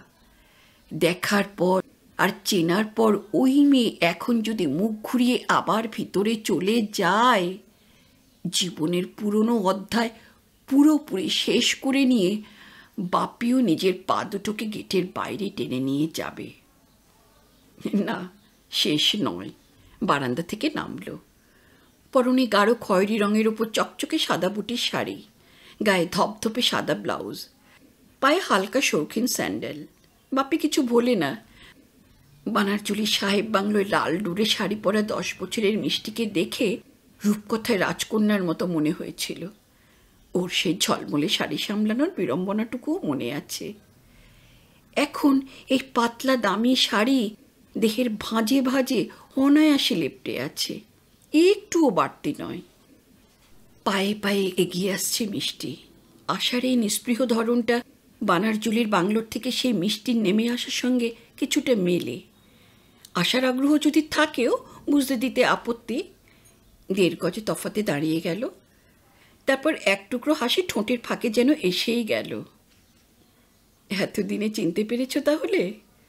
বাপির গলায় বাড়তি উচ্ছ্বাস নেই, অভিমানও না। সোজা মুখের দিকে চেয়ে মিষ্টি ওকে দেখছে। বানারজুলি সেই দুরন্ত দস্যি ছেলেটাই যে তাতে কোনো সন্দেহ নেই। হাসলো মিষ্টি, মাথা নাড়ল। হ্যাঁ চিনতে পেরেছে। হাসিমাকা কালো দু চোখ ওর মুখের উপর নাড়াচাড়া করল একটু, জিজ্ঞাসা করল, তুমি চিনলে কি করে? চোখের মধ্যে ওকে অনেকবার দেখেছে, আর মনে মনে তো অবিরাম দেখে চলেছে। আট বছর বাদে গলা এই প্রথম শুনল। কচি ছেলের মতো হালকা মিষ্টি। বাপি কী জবাব দেবে? বলবে, গত আট বছরের মধ্যে আটটা দিনের জন্য তুমি আমার চোখের আড়ালে ছিলে না? আমি চিনব না কেন? গদ্যাকারের সত্যি কথাটাই মুখ দিয়ে বেরোলো। বলল, তোমাদের বাড়ির রাস্তার এ মাথায় এক জ্যোতিষীর চেম্বারে রাত্রে মায়ের পাশে বসে তুমি হাত দেখাচ্ছিলে। আমি তো তখন জানলার কাছে দাঁড়িয়ে তোমাকে দেখছিলাম। মাত্র দিন কতক আগে মা জ্যোতিষীর কাছে নিয়ে গিয়েছিল, সেটা মনে না পড়ার কথা নয়। মিষ্টি হাসছে আর অল্প অল্প দেখছে। একসঙ্গে অনেক দেখার আছে যেন। বলল, হুম, মায়ের সঙ্গে ছিল বলে চিনেছ। তা ডেকে কথা বললি না কেন? এভাবে হঠাৎ তোমার দেখা পেয়ে খুব অবাক হয়ে গিয়েছিলাম। তোমাদের বেরিয়ে আসার অপেক্ষায় ছিলাম। ও, তারপর? মিষ্টি উৎসুক তোমরা বেরিয়ে এলে? তখনও আমাকে হাঁ করে তোমার দিকে চেয়ে থাকতে দেখে তোমার মা ঝাঁঝালো গলায় স্টুপিড বলে গাড়িতে উঠলেন। তুমিও তো খুব বিরক্ত হয়েছিলে। মিষ্টির মুখে মিষ্টি বিড়ম্বনার খেলা। না কক্ষণই না, আমার কিচ্ছু মনে পড়ছে না। মনে পড়ছে কি পড়ছে না, তা নিয়ে বাপির কোনো মাথা ব্যথা নেই। মন বলছে। আট বছর বাদে এমন অপ্রত্যাশিতভাবে ওকে দেখে আর চিনে এই মেয়ে অখুশি নয়। আট বছর আগে সেই বানারজুলি দিনগুলি এই দুটো কালো চোখে একসঙ্গে ভিড় করে আসছে। তোমার ক্লাস আছে? ছিল। হাত উল্টে ঘড়ি দেখে নিল। ক্লাস বসে গেছে, আর ঢোকা যাবে না। খুব ক্ষতি হলো কি? মিষ্টি হেসেই মাথা নাড়ল। না না, খুব একটা নয়। এই ঘণ্টার পরে ছুটি? না না আরও একটা ক্লাস আছে। তা একদিন যদি এই ক্লাসও কামাই হয় তাহলে? হাসি ছাওয়া দু চোখ মুখের উপর থমকালো একটু। নাকুচ করার কথা কেন যেন ভাবাও গেল না। জবাব দিল, হুলি আর কে কি করছে? আচ্ছা একটু দাঁড়াও, আমি আসছি। কয়েক পা এগিয়ে ঘুরে তাকালো, এই একদিনই তো? বাপি চেয়ে রইল জবাব দেবার মতো প্রশ্ন কিছু নয়, কিন্তু কান, মন ভরে দেবার মতো কিছু। হালকা পা ফেলে মিষ্টি চলে গেল। চারদিক চেয়ে বাপি দেখছে, এটা গতকালে সেই পার্ক নয়। মিষ্টির এই আশা বা যাওয়া গতকালের মতো দিবা স্বপ্ন নয়। কিন্তু গতকালে সেই আমেজটুকুর সঙ্গে এই বাস্তবের বড় অদ্ভুত মিল। এক আশ্চর্য শান্তিতে সেই রকমই ভিতর বার ডুবে যাবার মতো। পার্কে পুলিশে লাঠির খোঁচায় ঘোর কাটার পরেও ঘরের দিকে পা চালিয়ে বাপি ভাবছিল, আটটা বছরের ব্যবধান খুঁচিয়ে কোনো নিভৃতে এই মেয়ের মুখোমুখি হতে পারলে পার্কে সেই কল্পনার ছবিটা একেবারে মিথ্যে হয়ে যাবে না, হতে পারে না। না, মিথ্যে হয়নি। বিস্ময়ে সেই হাবুডুবু ব্যাপারই দেখেছে। খুশির চাপা তরঙ্গ দেখেছে। হাসিটুকুও সেই রকমই। মানুষের ভিতরের কোন দিকটা আসল সত্য? অনুভূতির এই জোয়ারে তারও হতিস মেলা ভার। জ্যোতিষীর ঘরে মায়ের পাশে এই মিষ্টিকে দেখা মাত্র অনেক অনেক দিনের ক্ষুধার্ত স্নায়ুগুলো একসঙ্গে টান টান হয়ে উঠেছিল। তারা বেরিয়ে আসার সঙ্গে সঙ্গে কাণ্ডজ্ঞান শূন্যের মতো এই বাপি তরফদার দুহাতের মধ্যে এসে মাকে ছেড়ে ওই মেয়েকে ব্যবিচারি দুটো চোখের বাঁধনে আগলে রাখতে চেয়েছিল। পিছনে লাল আলো জেলে সাদা গাড়িটা চলে যাচ্ছিল যখন, তখন চোদ্দ বছর বয়সে সে প্রবৃত্তির আগুন বাইশ বছরের দেহে শিরায় শিরায় দাউ দাউ করে জ্বলছিল। পরেও সাতাশি নম্বরের বাড়ির রাস্তায় দাঁড়িয়ে যতবার ওকে দেখেছে, বাসনার আগুন ধিকি ধিকি জ্বলেছে। আর গতকাল বাড়ির দোতলার বারান্দায় রেলিংয়ে ঠেস দিয়ে দাঁড়িয়ে নির্লিপ্ত মুখে ওর ওপর কতগুলো হায়নার হামলা দেখছিল আর মজা পাচ্ছিল যে মেয়ে তাকে কোন পাতালে টেনে নিয়ে যেতে পারলে সঠিক জবাব হয়? বুকের তলায় সেই নরক খুঁজে বেড়াচ্ছিল বাপি। প্রবৃত্তি সেই নিষ্ঠুর আদিম অভিলাষে সমস্ত মেয়ে জাতটাকে দগ্ধে দগ্ধে নিঃশেষ করতে চেয়েছে বাপি। ভিতরের পশুটা থাবা চেটেছে। তারপর একজনকে না পাওয়ার আক্রোশে আর একজনের উপর ঝাঁপিয়ে পড়তে চেয়েছে। কমলাবণী কতটা দেখেছে, কতটা বুঝেছে বাপি জানে না। কিন্তু আজ পার্কের গতকালের অনুভূতিটুকুই ঠান্ডা প্রলেপের মতো ভিতরের আনাচে কানাচে ছড়িয়ে আছে। বুকের তলায় দুমড়নো গুমড়নো সেই ভীষণ যন্ত্রণার লেশমাত্র নেই, সেই ভয়ঙ্কর আক্রোশ নেই সুরঙ্গ পথে সেই জানোয়ারটাও উধাও। তার পরিত্যক্ত শূন্য গুহা গহ্বর খুঁজে বাপের শান্ত দৃষ্টি আবার ওই হলঘরের বারান্দার দিকে। আর খড়ি দেখেনি তবু আট, ন মিনিটের বেশি হবে না বোধ হয় মিষ্টি আসছে। হাতে দুটো মোটা বই আর একটা বাঁধানো খাতা। লালচে মুখ মিষ্টির। চোখে এখনও হাসি চিকচিক করছে। বানার চুলির বাপি ভাবত মিষ্টি কবে বড় হবে? মিষ্টি বড় হয়েছে। বড় হবার পর বানারজুলি সেই সব কাণ্ড যদি মনে পড়ে, তাহলে কোন মেয়ের মুখে না লালের আভা ছড়াবে? বাপি হলফ করে বলতে পারে মনে পড়েছে, নইলে আসতো না, নইলে পাত্তা দিত না। কাছে এসে হাসি মুখে মিষ্টি বলল, দাদুকে অফিস চেম্বারে একটা ফোন করলাম। গাড়ি নিয়ে আসার দরকার নেই বলে দিলাম। এই পুরস্কারটুকুও বাপি দুটো চোখ দিয়ে গ্রহণ করল। এখানে আর দাঁড়ানোর ইচ্ছে নেই। বানারচুলির মতো এই মিষ্টি মায়ের খুব পরোয়া করে বলে মনে হলো না। তবু গেটের দিকে পা বাড়িয়ে জিজ্ঞাসা করল তোমার মা ভাববেন না? মিষ্টির কথাবার্তায় আগেও ঘোরপ্যাট ছিল না খুব এখনও অনেকটা তাই। পাশে চলতে চলতে হালকা সুরে বলল, মাকে নিয়েই তো মুশকিল, সব সময় খুব বেশি ভাবে। কীরকম মায়ের ধারণা, দুনিয়ার সব ছেলে নাকি তার মেয়েকে গিলে খাবার জন্য হাঁ করে আছে। হেসে ফেলে ঘাড় ফিরিয়ে তাকালো একবার। কোথায় যাচ্ছি? এখানে তো বানারচুলির মতো জঙ্গল নেই। কথাগুলো ডবল হয়ে এলেও একেবারে সরল, এটা ভাবা যাচ্ছে না। এই মুহূর্তে সহজ হবার দায় বাপিরই। সেও তাকালো একবার, স্বীকার করে নিয়েই জবাব দিল, না, এখানকার জঙ্গল বানারজুলির মতো নয়। ও, তা এখানকার জঙ্গল মানে? মিষ্টির মুখে পলকা বিস্ময়। বাপি হাসছে অল্প অল্প। গেটের বাইরে এসে মুখোমুখি দাঁড়াল। হালকা করে একটু ভারী জবাবি দিয়ে বসল। বানারজুলি জঙ্গলে আর যাই বলো, কোনো রকম কৃত্রিমতা আর ছলনা ছিল না। পাঁচ মাস হলো এখানে এসে দেখছি তো, এখানে সবটাই তাই। কেবল এই খানিকক্ষণ হলো অন্যরকম লাগছে। অর্থাৎ খানিক আগের এই যোগাযোগের পর থেকে কৃত্রিমতা বা ছলনা দূরে সরেছে। মিষ্টির আয়ত দুচোখ ওর মুখের উপর। কী দেখছে? বাপি অনায়াসে বলে দিতে পারে। নিজের গায়ের রং কোনোদিনই ফর্সা নয়, কিন্তু ছাদ ছিঁড়ির কিছু প্রশংসা ছেলেবেলা থেকেই শুনে আসছে বাপি। ড্রয়িং মাস্টার ললিতভর বলতেন, ললিত ঋজু দাক্ষিণ্যে পুষ্টু হলে তবেই পুরুষ। লক্ষ্য করলে ওর মধ্যেও পুরুষের এই দাক্ষিণ্যটুকুর এখনও মেয়েদের চোখে পড়ে। রতন বণিকের বউ কমলা বণিকের চোখে পড়েছে। মণিদার বউ গৌরী বৌদির চোখে পড়েছে। ব্রুকলিনের বড়বাবু মনমথ সোমের মেয়ে, সেই মেয়ে উষার চোখেও পড়েছে। আর মিষ্টি, মিষ্টির চোখেও পড়েছে। কিন্তু সেই সঙ্গে ভিতর দেখে নেওয়ার আপ্রাণ চেষ্টা।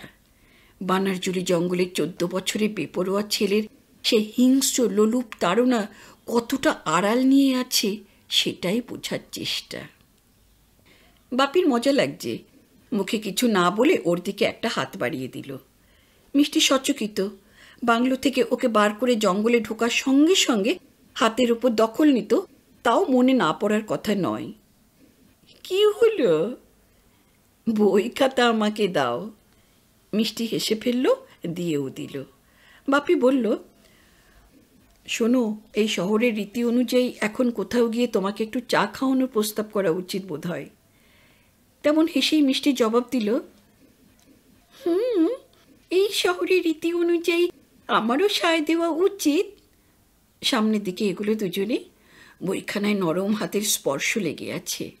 সঙ্গোপনে সেটুকু অনুভব করবার লোক বাপের। মিষ্টি এদিকে ফিরল, দু চোখে কৌতূহল ছেয়ে আছে। তো জ্যোতিষীর ওখানে দেখে তুমি আমাদের বাড়ি চিনলে কি করে? বাপি ঘটা করে বড় নিঃশ্বাস ফেলল একটা। সেজন্য অনেক মেহনত করতে হয়েছে, বুঝলে? প্রথম দিন সেই জ্যোতিষীর কাছ থেকে মিথ্যে অজুহাতে ঠিকানা আদায় করতে গিয়ে চোরের দায় ধরা পড়া দাখিল হয়েছিল। চলতে চলতে সকৌতুকে আবার ঘাড় ফেরালো মিষ্টি। ও, তাই নাকি? তারপর? তারপরের দিন দুপুর থেকে তোমাদের ওই রাস্তা চষেও কোনো হদিশ পাইনি? শেষে কলেজ স্ট্রিটে এক বন্ধুর বাড়ি এসে টেলিফোন ডাইরেক্টরিতে তোমার বাবার নাম খোঁজা হলো। বাবা তো অল ইন্ডিয়া সার্ভিসে চলে গেছেন। এখন মধ্যপ্রদেশে পোস্টেড আমি আর মা দাদুর কাছে থাকি। টেলিফোনটা তো দাদুর নামে। তুমি পাবে কি করে? আরে পাইনি তো। এরপর তোমাদের গাড়ির নম্বরই সম্বল। সেটাই মনে ছিল। বন্ধুর সাহায্যে মোটর ভেহিকেলসে এসে একজন দালালকে এক টাকা ঘুষ দিয়ে তবে ঠিকানাটা হাত করা গেছে, বুঝেছ? সাদামাটা সত্যি করা সহজ প্রতিক্রিয়াটুকু লক্ষ্য করছে বাপি। মিষ্টি হাসছে। আগের কথা ভুলিনি বলেই অবিশ্বাস করছে না। বলল, ঠিকানা হাতে পেয়েও বাড়িতে না ঢুকে রাস্তায় দাঁড়িয়ে থাকতে কেন? তোমার মায়ের ভয়ে, বিব্রত মুখে মিষ্টি বলল। আরে, ভিতরে এলে মা কি তোমাকে সেই বানার জুড়ির মতো তাড়া করে আসতো নাকি? তেমনি সাদাসিদে মুখে বাপি জবাব দিল, না চিনেই তো স্টুপিড বলেছিলেন, চিনলে কি তাড়া করার কথা নয়? মিষ্টি আর যেন তেমন জোর দিয়ে অস্বীকার করতে পারল না। বাপি বলল, তবু জানো তো, গতকাল কপাল টুকে ঢুকেই পড়বে ভেবেছিলাম। অদৃষ্টে দুর্ভোগ লেখা ছিল। তোমার পাড়ার ভক্তের দল ঝাঁপিয়ে পড়ে টানা হেঁচড়া শুরু করে দিল। দোতলার বারান্দায় দাঁড়িয়ে মনোযোগ দিয়ে তুমি তো সেই দুর্দশাই দেখছিলে। তোমার ভক্তদের তাইতে আমাকে সায়স্তা করবার উৎসাহ আরও বেড়ে গিয়েছিল। এও সত্যি, মিষ্টি সহজ হবার চেষ্টা। আচ্ছা আজ তাই অন্য রাস্তায় এসে দাঁড়িয়েছিলে? আবার এই কলেজ তুমি জানলে কি করে? গাড়ি থেকে তো আমাকে দেখে তুমি বিতৃষ্ণায় মুখ ফিরিয়ে নিলে। তখন ট্যাক্সিতে ফলো করে তোমাকে এই কলেজে ঢুকতে দেখলাম। একটুও বাড়িয়ে বলেনি, একটুও রং ফলায়নি। আট বছর আগের ছেলেবেলা সেই দুরন্ত দোষীকে এর সঙ্গে মেলানো সহজ নয়। কিন্তু মিলছেও আবার, জিজ্ঞাসা করল তারপরে বেলা দুটো পর্যন্ত অপেক্ষা করে স্লিপ পাঠালে? বাপি হাসলো, বলল, হে স্লিপ পেয়েও তুমি আসবে কি আসবে না সন্দেহ ছিল। এতবার দেখেও যখন চিনতে পারলে না, ভাবলাম ভুলেই গেছো। সামান্য ফিরে মিষ্টি তেরছা চোখে আর একবার দেখে নিল ওকে। পাতলা দুই ঠোঁট কৌতুকে টস টস করছে। তারপর সংকোচের কথাটা বেশ সহজেই বলে ফেলল, তোমাকে চিনতে না পারলেও বানার জুলির বাপিকে কিন্তু ভোলা শক্ত। শোনার সঙ্গে সঙ্গে বাপের মনে হলো আট বছরে ফারাকের অর্ধেকটাই জুড়ে গেছে। তরল সুরে মিষ্টি আবার বলল, তবু কদিন দেখে তোমাকে চেনা কিন্তু আমার উচিত ছিল। কেন? আরে, তুমি ছাড়া এত কাণ্ড আর কে করবে? কাল তো আরও চেনা উচিত ছিল। কেন? দোকান ভরে কেবলই শুনতে ইচ্ছা করছে বাপের। পাড়ার ওই পাজিগুলো যখন তোমাকে টেনে নিয়ে যাচ্ছিল, তুমি দোতলার দিকে একবার ফিরে তাকিয়েছিলে। এমন তাকানো যেন অতটা দূর থেকেই একেবারে ভস্য করে ফেলবে আমাকে। আট বছর আগে বাবা পানারজুলি থেকে দিনাজপুরে বদলি হতে আমরা যখন বাংলো ছেড়ে জিপে করে যাচ্ছিলাম, রাস্তায় দাঁড়িয়ে তখন ওই রকম করে আমার দিকে তুমি তাকিয়েছিলে। আমার তো ভয়ই করছিল এই বুঝি চলন্ত জিপে ঝাঁপিয়ে পড়ে আমাকে একেবারে শেষ করে ছাড়বে। বাপি সন্তর্পণে নিঃশ্বাস ফেললে একটা। এ কথার পর এতদিনের ব্যবধান আরও কিছুটা জুড়ে গেল।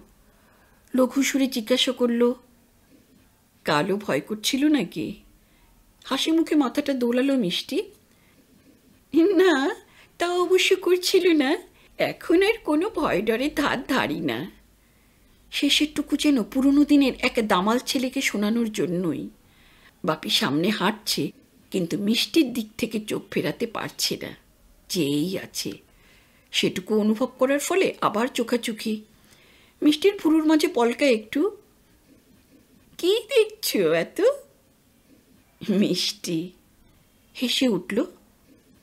জল দিয়ে গিলে খেয়ে ফেলতে ইচ্ছে করছে? বাপির হাসিতে খুশি বিড়ম্বনা। আট বছরের ফারাক এবারে জুড়েই গেল বুঝি। দিনমানের এই কলকাতা না হলে হাত বাড়িয়ে আগের মতো ওর একখানা হাতের উপর দখল নেওয়াও একেবারে অসম্ভব কিছু হতো না। এবারে মিষ্টি একটু গম্ভীর, কিন্তু হাসির ছোঁয়া লেগেই আছে। বলল, এখানে কিন্তু আমি মালবিকা, এক মা আর দাদু শুধু মিষ্টি বলে ডাকে। হে দীপুদা, দাদা বিলেতে বাহ, বেশ ভালো খবর। কিন্তু আমি তোমাকে মিষ্টি ছাড়া আর কিছু ডাকতে পারব না। তার দিকে না ফিরে এবার একটু নির্লিপ্ত গলায় জবাব দিল, তেমন ডাকাডাকির চান্স কোথায় পাচ্ছ? বাপি ভিতরে ভিতরে থমকালো। এই জবাব আশা করেনি, আর চোখে একবার দেখে নিয়ে হালকা গলায় জোর দিয়ে বলল, আমি কোনো চান্সের উপর নির্ভর করি না মিষ্টি। গত আট বছর ধরেই ডেকে চলেছি। কোনো একটা দিনও বাদ পড়েনি সেই ডাকায়। জানো তো? মিষ্টি ঘাড় ফিরিয়ে সোজা তাকালো এবার। মুখ আরও একটু গম্ভীর, কিন্তু ঠোঁটে হাসির আভাস, চোখের কোণেও। তবু বাপের মনে হলো, এতক্ষণে সহজ স্পষ্টতা থেকে ওর যেন একটু তফাতে সরার চেষ্টা। মন্তব্যের সুরে মিষ্টি বলল, একটুও ভালো কথা নয় কিন্তু। কই, কটা দোকান তো পার হয়ে গেল। কোথায় চা খাওয়াবে? বাপি অপ্রস্তুত। তাই তো তোমাকে কাছে পেয়ে কেমন দিশেহারা দেখো, ভুলেই গিয়েছিলাম। কাছে পাওয়ার কথাটা এমন নিঃসংকোচে মুখ দিয়ে বেরিয়ে এসেছে যে মিষ্টি আবারও না তাকিয়ে পারল না। বাপি বুঝল, কিন্তু বুকের ভিতরটা তার ভরাট এখন। মনে, মুখে কোনো লাগাম নেই। বরং ওই মুখে বিড়ম্বনাটুকু রসিয়ে দেখবার মতোই। সামনের বড় রেস্তোরাঁয় ঢুকে পড়ল। পাশে মিষ্টি। আমরা শুনলাম আশুতোষ মুখোপাধ্যায় রচিত সোনার হরিণ নেই উপন্যাসখানির চতুর্থ পর্ব। নমস্কার।